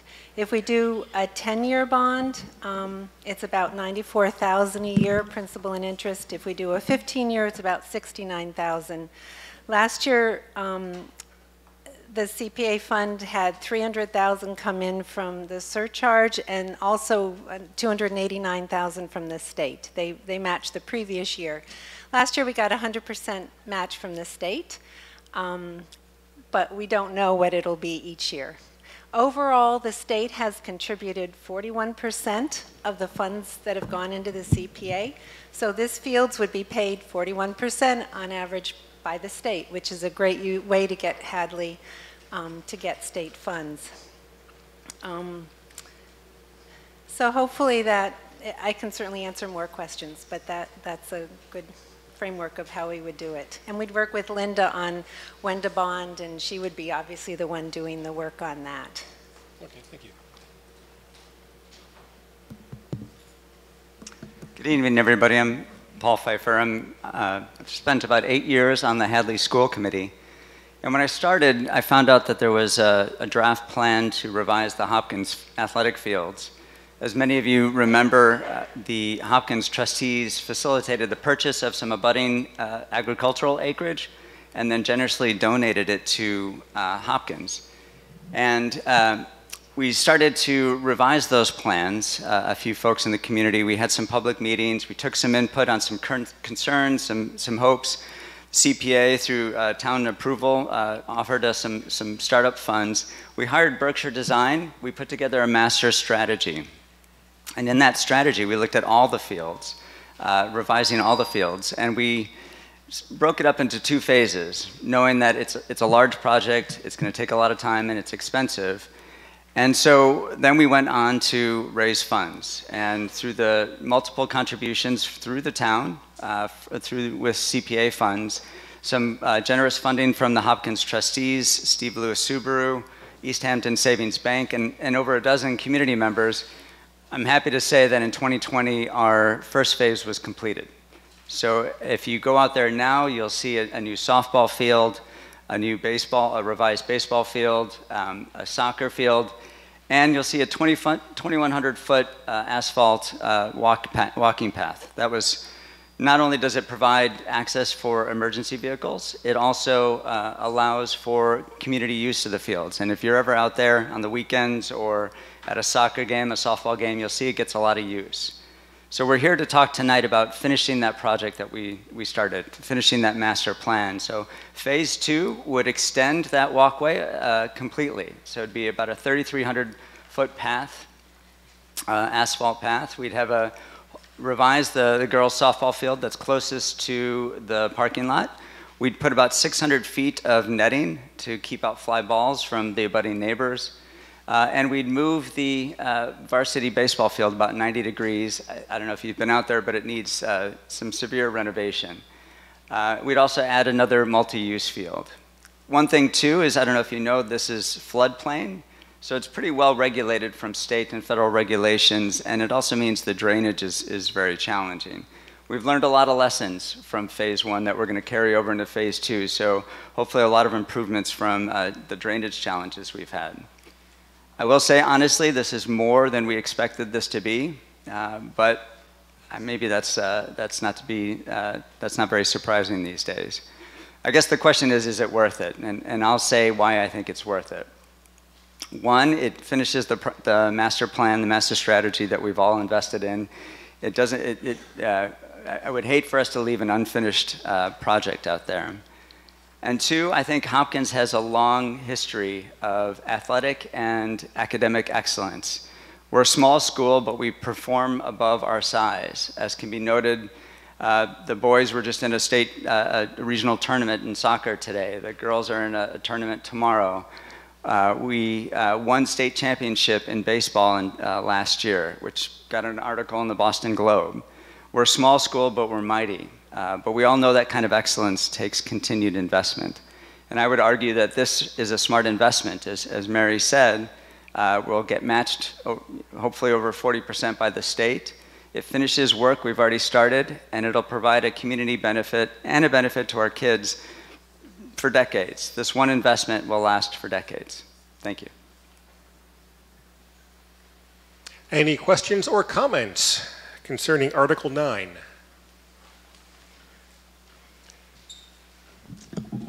Uh, Braden Tudrin, 21 Schmer Road.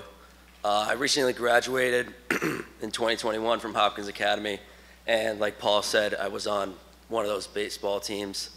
And those fields out there are nostalgic, they're old, but they're nostalgic, but they are old. I'll say that right now.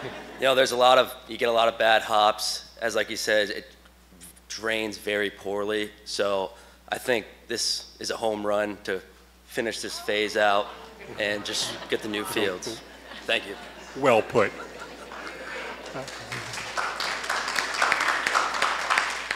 Uh, just a question that I have. Uh, were you speaking on behalf of the students? Because I was approached to have this. As a citizen, okay. I was approached by some by somebody asking if the students could address this. And is there a representative from the students here? No. Just to add in on that, so a bunch of them are at that varsity soccer game. Um, okay. also, you know, we were just conscious of, is it appropriate to sort of, from us as a school committee, to ask them to stand up and support this? So we didn't want them to put, Okay. to make it seem like there was any pressure. So Okay. Braden, as a, as a graduate, uh, offered to step forward. Okay. All right. Just wanted to make sure nobody was left out. Mary? One more thought um, regarding the, the use of CPA funds for this. Hopkins has quite a few capital plans in mind, um, and the only one that seems to fit with CPA funds is the athletic field. So it, it's, it's not like they're going to come back and come back for things for the building, because that doesn't fit in with the CPA. But the athletic fields is the way that the CPA can help with some of these major plans um, they want to do for Hopkins. Yes. Did, did you want to speak, Joyce? Joyce Chunglo?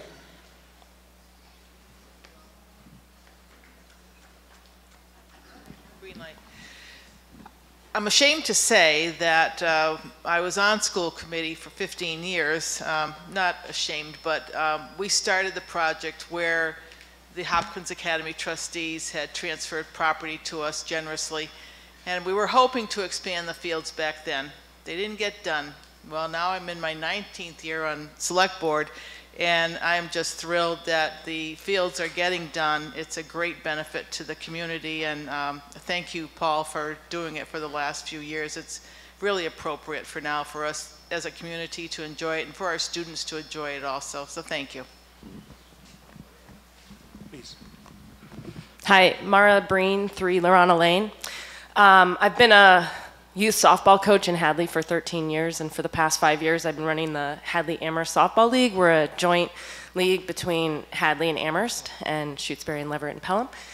And um, and I wanna I wanna say we use that field eight months out of the year, um, pretty much daily from April to June. And this is our this is Little League, so this is um, town kids ages five to 12.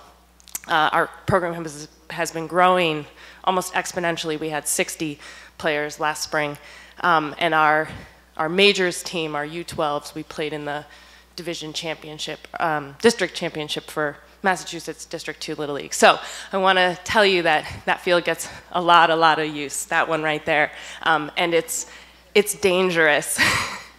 um, so uh, Paul talks about the need to put up a fence. So it is so close to the property line that um, I'm sure it's a real pain to the neighbors behind, but also uh, it's dangerous for the kids who are in the dugout over there. It's dangerous for spectators who sit on the side. Um, Moreover, the fence isn't as high as it should be.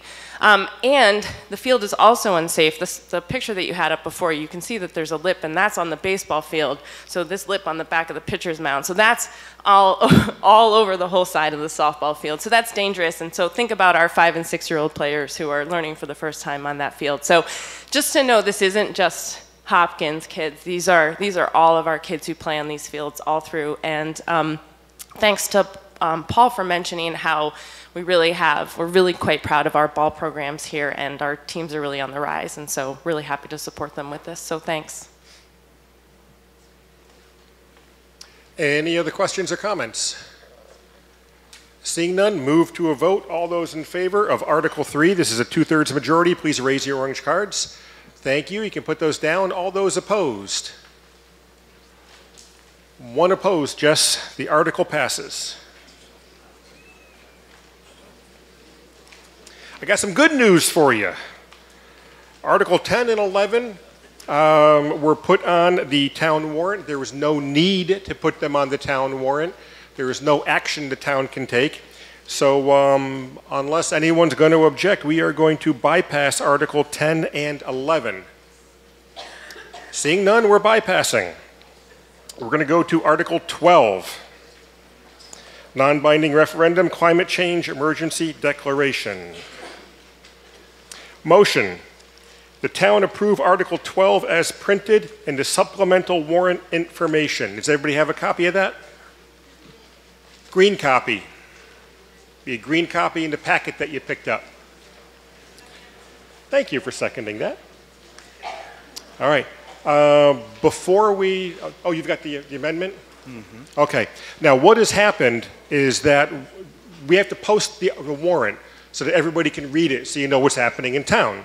And we've got a certain time period we need to post it so that everyone has a chance to review it at town hall or different public accesses around town. Since we have posted the warrant, the Climate Change Committee has come back with a changed proposal. So the first thing I need is an amendment to, how would, I, how would, how would you word that?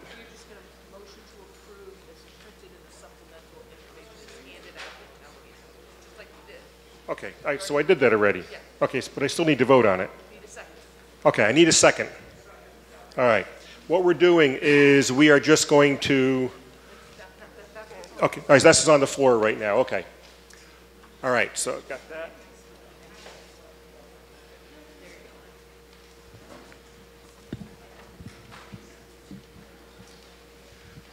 All right, so for clarification's sake, um, the Article 12 um, has been changed. So Article 12 is going to be read right now. Uh, you can make changes in your notes in there. You can follow along in the green. And with that, Jack Sykowski, 133 Mount Warner Road. Resolution declaring a climate crisis. Jack, into the microphone, please. Yeah. The Hadley Climate Change Committee has approached the Hadley Select Board and town meeting to consider the following climate emergency for adoption. The express intent of this declaration is to make climate change a top priority for planning, policy, and action for the town of Hadley, including its select board, town administration, and relevant boards, commissions, and committees. It advocates for the town to align itself to climate-related work with the state emission reduction and preparedness targets, which themselves are in alignment with scientifically founded goals to avert dangerous interference with our climate. The emergency declaration does not make recommendations as to specific policy measures to reach emission reduction or improve Hadley's precautions and preparedness for the expected consequences of climate change. But it urges the town to speedily assess its option, develop a clear climate action plan, and commit to action without any further delay. Motivation. Whereas the climate crisis is a matter of grave and urgent public concern, the effects of climate change already damage and endanger Hadley infrastructure, private property, livelihoods, and natural environments. Whereas on April 22, 2016, world leaders from 175 countries ratified the Paris Agreement, an international treaty that recognizes the threat of climate change and the urgent need to address it. They agree to keep global average temperature rise well below 2 degrees Celsius, above pre-industrial levels, and to pursue efforts to limit the temperature increase to 1.5 degrees Celsius. And whereas Governor Charles Baker has signed comprehensive climate change legislation in March 2021 that brings the state climate change policy ambitions and achieving zero emissions by 2015 in line with the Paris Agreement. And whereas the climate change is also presents major opportunities to invest clean, healthy energy, transportation, and land use systems that will deliver immediate and sustained benefits to all and reduce further damage from climate change. And whereas Hadley has engaged town government and citizenry for whom this climate change emergency declaration is an expression of active concern and solidarity with other governments to keep Hadley safe and thriving in perpetuity.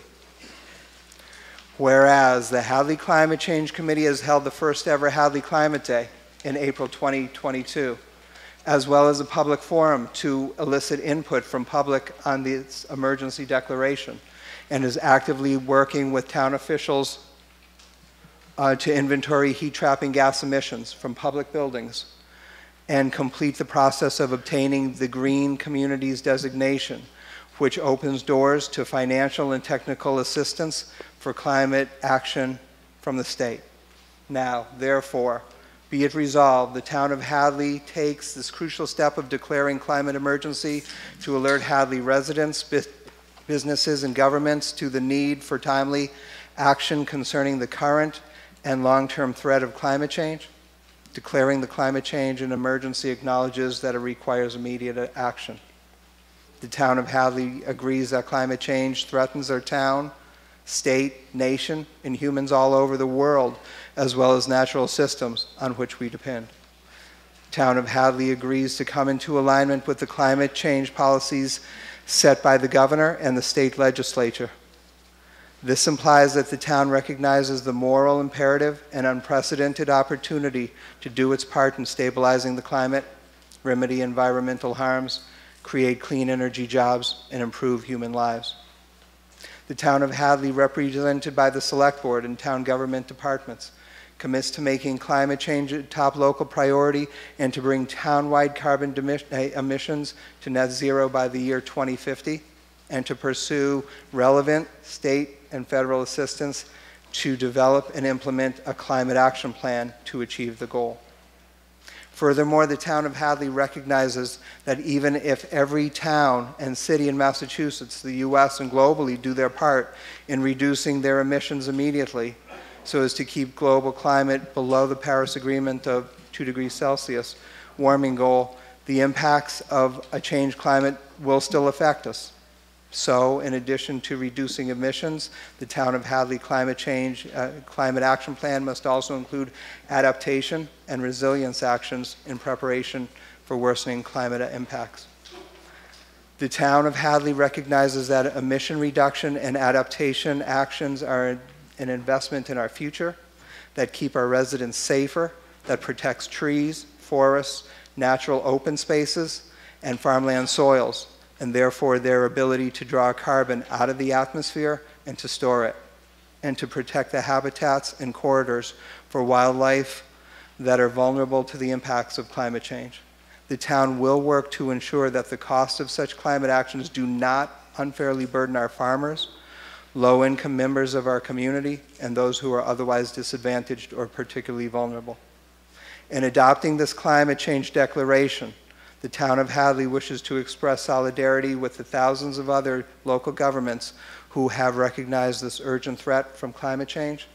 And finally, the town of Hadley calls on all Hadley civic groups, businesses, and residents to join the town in this climate mobilization effort to help achieve these critical policy goals. Do we have, we, we had a second already. Yeah, we had a second. So open for discussion. Shel Horowitz, 16 Barstow Lane. I uh, bring many hats to this discussion. As a business owner uh, since 1981, as a business owner in Hadley since 1998, as an environmentalist since 1970, and as the author of four books that make the business case for being green and uh, addressing the various inequities as a profit strategy, and one book for consumers on how to save money, save energy, and save water. And I am strongly in favor of this. Uh, I want to make a little analogy. About a half hour ago, we passed a whole lot of stuff addressing the problems that we had with deferred maintenance on our vehicles. We also have a similar problem with deferred maintenance on our planet. It's time to rectify that. It's, it's 100 years past when we should have done it, but um, they say the best time to plant a tree is 20 years ago, and the second best time is today. So please join me in voting yes.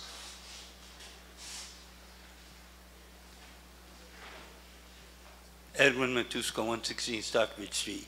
Uh, Jack, how is this going to affect me as a farmer? Uh, I don't want to be able, I don't want to be told I have to turn in all my equipment to get green stuff and everything. So could you please, could you please address that, please?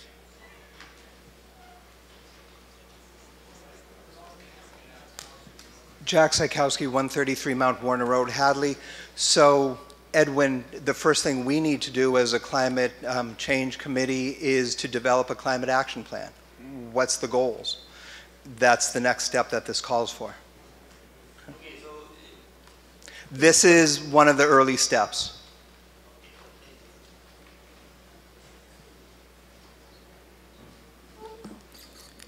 My name's uh, Tony Fiden, 5 Cold Spring Lane. I'd like to speak tonight to urge the residents of Hadley to reject this flawed emergency climate change declaration that's being pushed by the Climate Change Committee.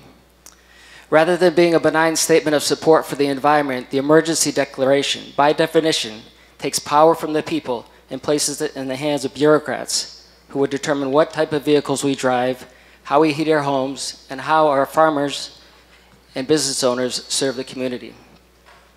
Advocates take great pains to claim that the statement is non-binding and aspirational.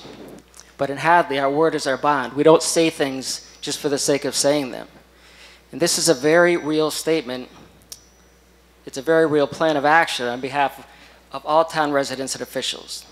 It commits us to supporting unworkable state and national carbon reduction goals that could lead to immense economic and social collapse. Just to look, to Europe and see the catastrophic results of chasing a renewable energy utopia without a realistic plan. Endless war, rolling blackouts, food shortages, freezing homes, and loss of independence, all without even moving the needle for carbon reduction. That's what's happening in real time in Europe. They're ahead of us on this. At the recent climate change forum at Hadley Senior Center, organizers laughed out loud at the suggestion that our government would eventually seek to, to curtail dairy farming or police the crops that grow in our fields in pursuit of climate protection. They probably laughed in the Netherlands, that's what they call the tiny country that feeds the world, a few years ago, but now farmers there are facing eviction and ruin as the government reduces dairy farms by more than 30%.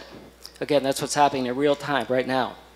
In fact, as documented by renowned scientists like Michael Shellenberger and others, climate panic itself is fueling the worst energy crisis in the last 50 years.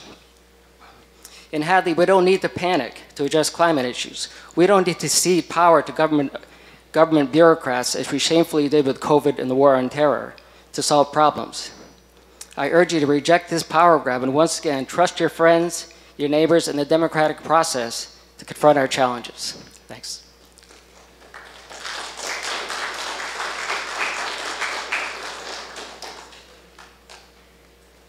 Hi, I'm Sophia Sincata. I live at You 30 West Street. Pull the mask down.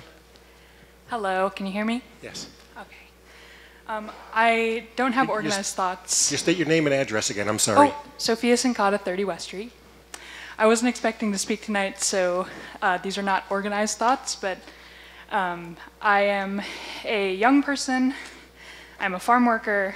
I am a really concerned person um, about the future um, of not only the town of Hadley, but obviously the planet. Um, and I'll urge you to uh, allow this to move forward. I think that what this is trying to do is acknowledge that we have a real crisis on our hands and it will come to affect, um, you know, our existence within this town and beyond. And um, yeah, thanks for hearing me. Peter Matusko, 19 Middle Street. You want us to vote on something that nothing has been said what they want to do. It's like an open book to them to choose whatever they want us, or whatever they want to do. Uh, Especially where it says, uh, achieve these critical policy goals. They haven't set any goals to what they want to do. I do heating and air conditioning for a business for 30 years, and there's always going to be your fossil fuels. Are they going to say, like years ago in the building code, they made the stretch code that they made the houses too tight, and now you have to take fresh air in with the heat that you've used to going outside? Are they going to be planning outside saying you buy a new house, you have to have no fossil fuels in using these mini split heat pumps? The rebates that they want to give you, yes, but is it worth it for the time where if you have something that's going to be fixed, gas or oil, you can fix it in an hour or two? Are they going to say, okay, you have to mandate these mini split heat pumps to putting into a house if there's parts that aren't going to be available? We saw what happened two years ago when parts weren't around, nothing was being built. You're in the low temperatures, we're in the northeast, zero degrees, you don't have parts, you have no heat for two or three days or more, what are you going to do? They're making it, you want us to vote on something that we have no idea what they want us to do. They can make any changes at any time they want, and since we vote on it, yes, they could do whatever they want, and we have nothing to say about it. So there needs to be goals of what do they want to do, what are they proposing on doing? Are they going to say, okay, everybody gets solar? Okay, are you going to spend 50 grand on your own solar system? Do you want to have EV cars? Are you going to spend 50 grand of your own money on your car? Or uh, electrical outlets to, to powering up the EV? Or doing a complete upgrade? You know, they're not saying anything. You just want us to vote on something we know nothing that you, anything about. So that's the problem with this, where everybody should say no. Give us examples, what do they want to propose, and then let us vote on something, not just leaving it open, and they can choose whenever they want. Then they're going to be making mandates, and then they're going to be doing things that we have no say on because we've already voted yes. So it should be a big no on this one. Dan Didkevitz, 130 Hockanum Road. Uh, I just have two observations. Number one, one of the previous speakers asked, how would this affect his ability to farm? And I notice this is a non-binding issue, so I'd like to say, what's the point? But also in this non-binding issue, it says here, the town of Hadley recognizes that the main cause of the climate crisis is the burning of fossil fuels. That'll affect everybody here. It'll affect uh, people who are retired and are on a fixed income, and they're going to be looking at paying an unbelievable cost for fuel oil, even though fuel oil is cheaper to manufacture than gasoline. Figure it out. What are they doing to us? Thank you. Jack Sikowski, 133 Mount Warner Road. I think we will all see, and many of us already have seen, that our fuel bills are nearly rising out of control this year. That has nothing to do with the Climate Change Committee. When it comes to what are we going to do in the power grab, um, I don't really see a power grab. I just see this as a natural evolution. We need to start somewhere. This is where we're starting. This is our starting point. We will move forward from here, and if there's other things that we need to discuss, we'll bring them to the different committees. I, oh, hold, I just want to finish. My grandparents came from Poland. My brother's farm in town. I help my brother on Mount Warner Road every year. His livelihood, his life depends on farming. There is nothing that I would do to hurt him and his farm. You want to, you want to chair? I, want, I need a ladder. Linda Leduc, Kimberly Lane. Um, as I read this resolution, it's basically asking the citizens of Hadley to start thinking about climate change and thinking about taking some actions. It's not its duty here to specify what kind of actions Hadley people should take. It's asking us to start planning, doing research, trying to figure out how to address climate change in Hadley um, together as a community without hurting, you know, people who don't want to have solar tractors and, and people who don't want to have high electric bills.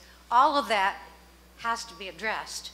But this resolution is only trying to get us to come together and say, let's look at climate change in an official way, urge the select board to start doing some actions by bringing people together, do some research on how to fix the dike.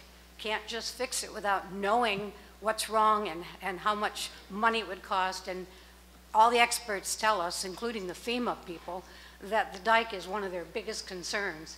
That's a climate problem because of flooding. Um, we do need to look at these things. This resolution isn't solving any problems except asking us to start looking and thinking as a community together.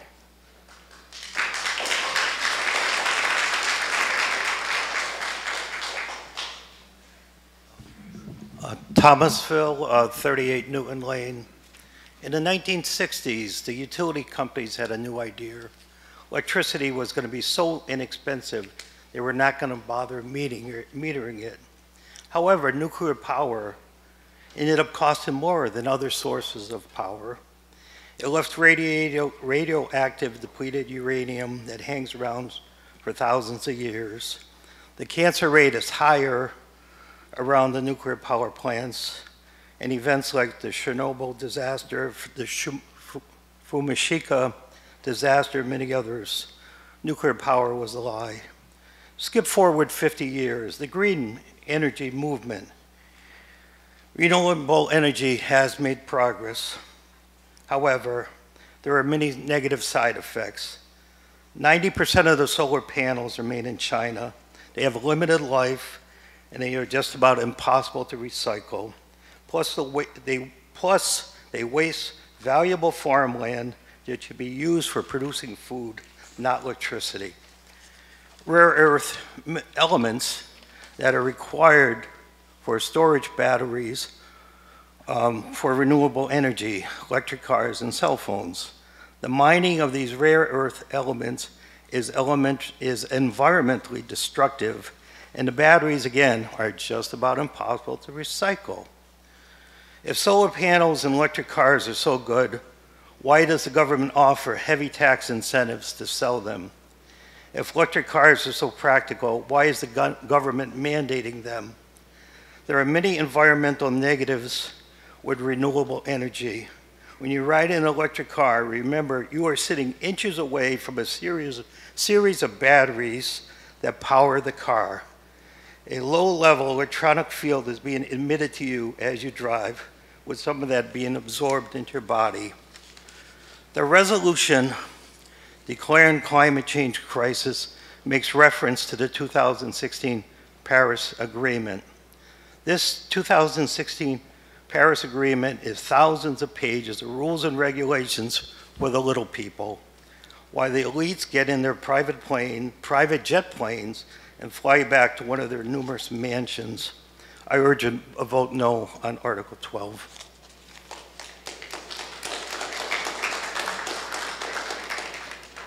Michelle Morris Friedman, 45 Roosevelt Street. Um, I'm going to emphasize this is non-binding. It's a way of framing how we approach things. If you were to receive a diagnosis of a heart attack, it would probably frame your actions from that point on you would maybe choose not to go to the Donut Fest, but rather the Square Dancing Festival. Um, this is similar to that.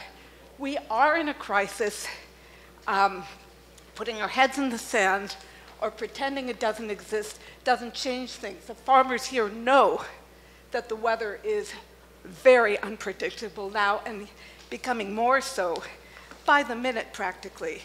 Um, it's non-binding, but it has us looking for solutions. It's not as if we're going to go to totally electric cars, total renewable energy right away, because we are not in a position to do that. However, moving toward those things is going to build resilience and help us on the local level as well as help on a international or national level. And um, it will help us on the small scale in emergencies to have more people with more energy sources because as the war in Ukraine is um, showing, the energy sources we've come to depend on are perhaps not so dependable after all. The other point I want to make is a lot of people have been saying they, they, they will do this, will do that, will take away your, your rights. Right here, we are we. We are the people who decide at town meeting. Nothing in this resolution can be forced on us without our voting for it at a later time if there's a rule or regulation. So this is not about voting for a whole program at the moment. It's for voting for a lens through which we want to look at our actions from this point on.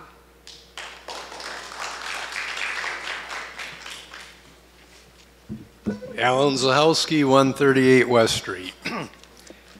I don't know if some of you are reading the same sheets that I'm reading. I've heard one speaker after another say, oh, we're not being told we're going to do anything. We're not, we're not forcing anything. Well, I don't know. Wait a minute. Listen to this. Town of Hadley agrees to come into alignment with the climate policy goals set by the governor and state legislature. Okay, that's one. Here's another. The town of Hadley, represented by the select board and town government departments, commits to making climate change a top local priority to bring town-wide carbon emissions to net zero by the year 2050, etc. Okay, I mean, we're, we're getting into, we're going to do this, not, isn't this a nice idea? Let's think about it, all right? Well, you know, I farmed all my life, and let me tell you, I have, there's people I know I have conversations with, and they tell me they don't believe there's climate change. And I tell them I do, all right? I have to pay attention to the weather daily. My life depends on it. My livelihood depends on it. But honestly, we're going to get to zero emissions by 2050. Totally unrealistic. And listen to this the town will work to ensure that the costs vulnerable to the impacts of climate. Wait a minute. The town will, okay, the town will work to ensure that the costs of such climate actions do not unfairly burden our farmers, low income members, etc. I cannot, we just fought over a couple of trucks and stuff, all right? Carbon fuel means your home heating fuel, your lawnmower, your automobile, my tractor. Town meeting going to pay for all of that when the time comes? You know, I heard something, and somebody here, you correct me if I'm wrong. I heard that a similar movement in Northampton mandated now it is illegal to burn a wood stove in your house or your fireplace or any outdoor wood burning, correct? This is how it starts. I think this is not realistic, very idealistic, wishful thinking. Um, I would vote no on this. This is how it starts. We're going to get plenty of laws coming out of Boston, believe me. But I cannot see town meeting buying me an electric tractor, all right? oh, and one last thing on climate change. Maybe I shouldn't make this joke, but I will. I do take it seriously, but it's not all bad. Guess what? We've got one month longer to pick the squash in the fall before it freezes than when I was a kid.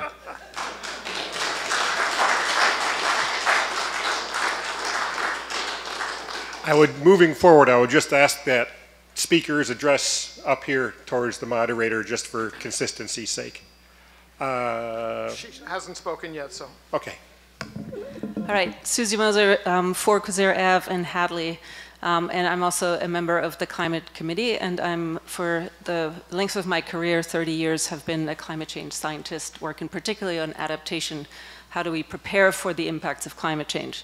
I've worked with uh, IPCC, and I've worked with the National Climate Assessment. I've worked um, for years in California. So just as background for what I'm going to say to you right now. The first one is um, someone said, We're going to make anybody. The Hadley Climate Change Committee is made up of six people that are volunteers, that are citizens of residents of this town. We are you. we are among, you know, we have absolutely no power. We're coming to you with a non binding declaration to simply take it seriously, as you so nicely said. Second thing is there's a history to this declaration. It looked very different about three or four versions ago. And we have basically asked for input from Hadley residents and made adjustments to it, which is why you're seeing the version you're seeing tonight. It is already responding to the comments that we have gotten. And what I've observed is that every time we make a change, basically we get another you know, resistance to it, another rejection. The bottom line is basically, the, you know, the message is do not do anything about it. I can tell you two big implications of that. I'm coming back this evening um, from being in DC, listening to a panel of federal agency representatives very high, including Secretary of the Interior um, Deborah Haaland, and they spoke about how much money the federal government is about to give away and would like to give away and can't get out of the barn basically fast enough um, to the communities that are ready to take it. Hadley has no plan and we will miss out. That dike that needs repair, you cannot get the funding because you have not done a plan, right? So we're going to miss out on the one-time opportunity, once-in-a-generation opportunity to help ourselves be safe in Hadley. I think that is simply what we're trying to motivate that we get going. That's the bottom line. And the second one is, if we don't, it is going to be so much more expensive than that truck that you didn't want.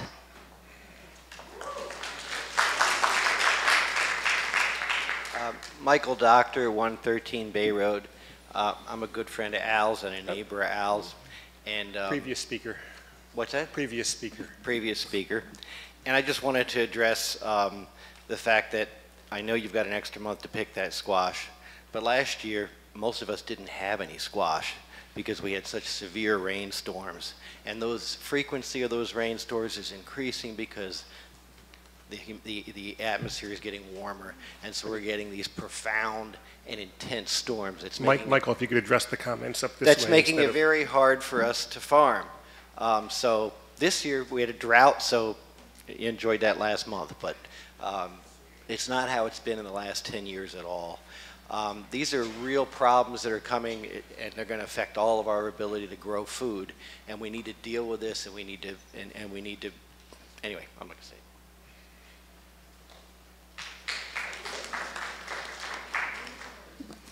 Dina Friedman, 16 Barstow Lane. I've been sitting here listening to arguments on both sides of this. And what I'm hearing a lot from people who are speaking against this resolution is a lot of fear. And I can understand that. You know, there's fear about being told what to do. I can't do this, I can't do that, I can't, my livelihood will be affected, my taxes will be affected, I'll be forced to buy this electric car, new energy. But I think the fear of what is likely to happen, there was an article just a couple of days ago in the major news media about how we are, our planet is continuing to warm, we are not on track, is a fear that we should be much more afraid of than anything that is not going to happen from this resolution, that may happen from the governor or may happen if um, people bring a more specific proposal to the table. Right now, as a previous speaker said, all that this resolution is asking is that we come together and discuss it so those people in the room who are fearful of what this might bring have a voice at the table, but that together we say there is a bigger fear out there that we need to address. Thank you. Um, Sir? Uh, Brian West, 203 Bay Road. Um, I think the people that have spoken in opposition to this aren't doing it out of fear. Um, there's an idealistic portion to this being carbon zero by 2050. It's never going to happen. Okay? I, I totally support, if we want to have a climate change committee in this town that wants to take up issues so that we can become more carbon neutral and work our way towards zero and bring things back to town meeting as a committee. I'm all for that. I don't need some liberals in Boston telling me how we need to do things in Hadley. And that's what's going to happen. It's going to be driven by federal dollars and state dollars. And so when you go to build a new building in the town of Hadley, the state's going to say, you can't heat that with oil. You need to be carbon zero. So if we want to really affect climate change as a town of Hadley, let's have Jack and his committee do all the research they want, and if they think something works for the town of Hadley, put it on the agenda, bring it here, and we'll talk about it. But I don't, I don't need, most certainly, anybody in Washington, okay, telling me what we need to do in this town. Okay? There's a reason why we have the lowest, one of the lowest tax rates in the state. Okay? And for people who have moved here in the last 10 or 15 years, I'll give you a quick clue. It's the planning board that sits here. We've developed a business district in an agricultural rural town. We are the envy. If you go to Boston, they envy us because we have a business district that pumps money into our coffers so that the residential tax rate is low. That was done by the planning board. Now, you might not agree with every decision they've ever made while they've been on that board, but if they didn't do that, things would be drastically different. So I would support our climate committee, and they make up things for Hadley and they bring it to us. But I don't need to hear from Washington or Boston.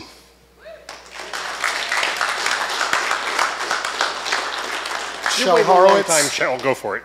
16 Barstow Lane. Uh, three things I want to point out. Number one is what this resolution does is it says the people of Hadley are telling Boston, are telling Washington that this is a priority for us. It's the exact opposite of what the previous speaker um, suggested. That's one thing. Another is that we are dealing with carbon fuels that are going like this in their price, going like this in the ease of getting them out of the ground, uh, heating up the climate, doing all sorts of nasty things. When I moved to town, my first tank of fuel oil was 67 cents a gallon. Okay? Um, that is not going, that pattern of going from 67 cents to several dollars is not going to change. It's going to get worse because we are talking about a finite resource. We can't just manufacture it out of thin air. It's got to be dug up out of the ground. Um, so by moving toward better options, and I want to talk about some of the specifics of those better options, there's a house I know in Aspen, Colorado, a place that its entire industry is built on it being really cold and that house doesn't have a furnace, grows bananas, was built in 1984, and when I heard the owner of that house talk some years back, his electricity bill was $5 a month because it was designed to be in harmony with the site and to be basically a, a, not only net zero but net positive house that produced more energy than it used. Had we done that in 1984 and changed the way we built buildings, we would not be having this conversation right now. Some of the really cool stuff that's out there also, I have a house that was built in 1743 in Hockanum, and that house is heated and gets its hot water from cow poop and food waste through a green process that takes methane instead of polluting the air with it and turns it into heat for me and my neighbors and electricity for, I think it's 300 something houses uh, on the grid, these are the kinds of technologies we can do. I have seen a demonstration of a frisbee-sized hydroelectric plant that doesn't require a dam. You stick it in moving water, it turns.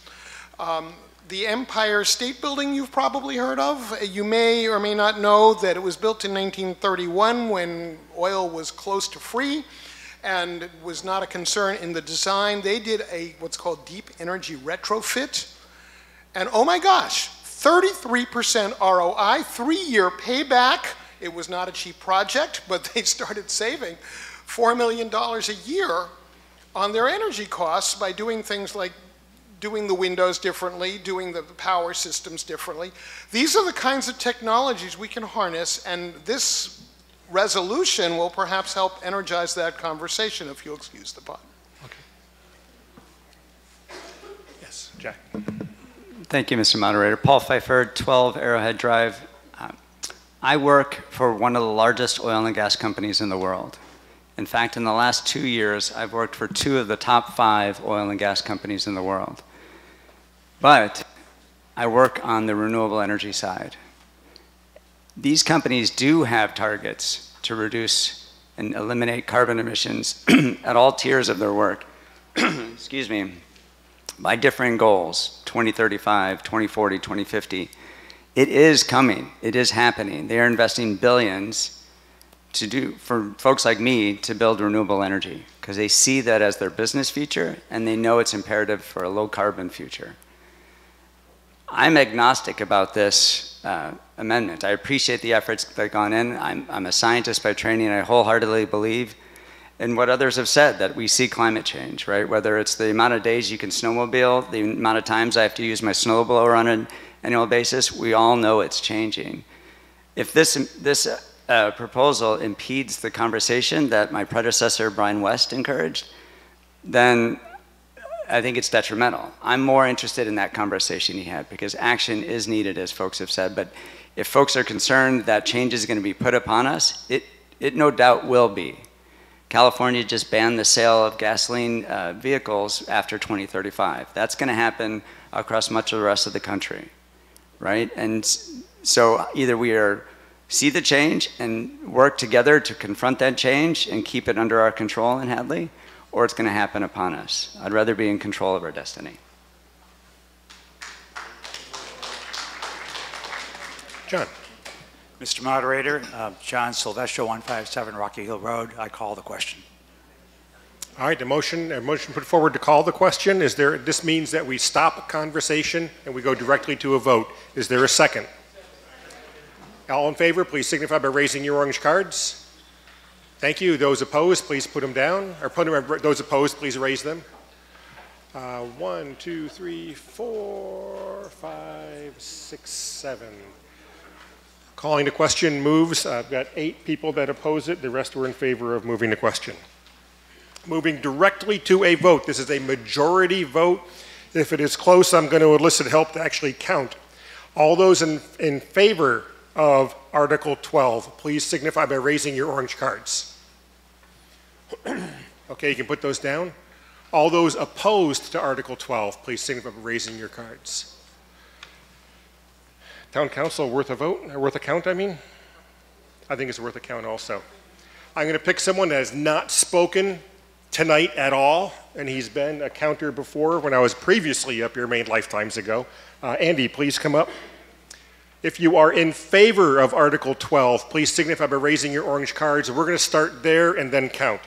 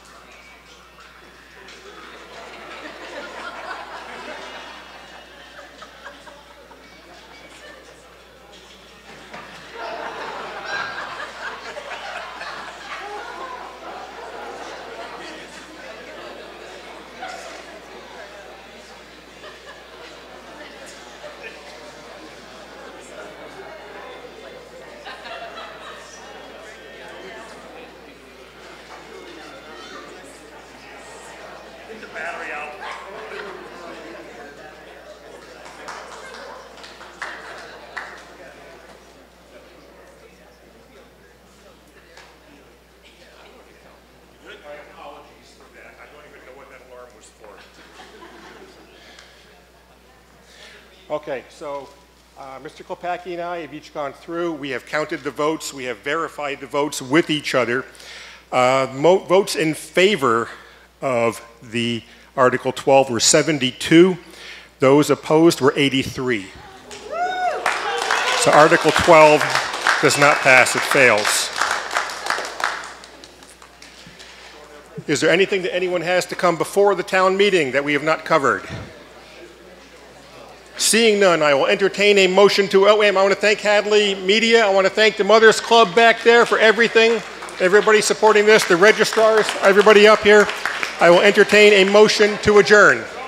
Is there a second? All in favor? Motion's adjourned.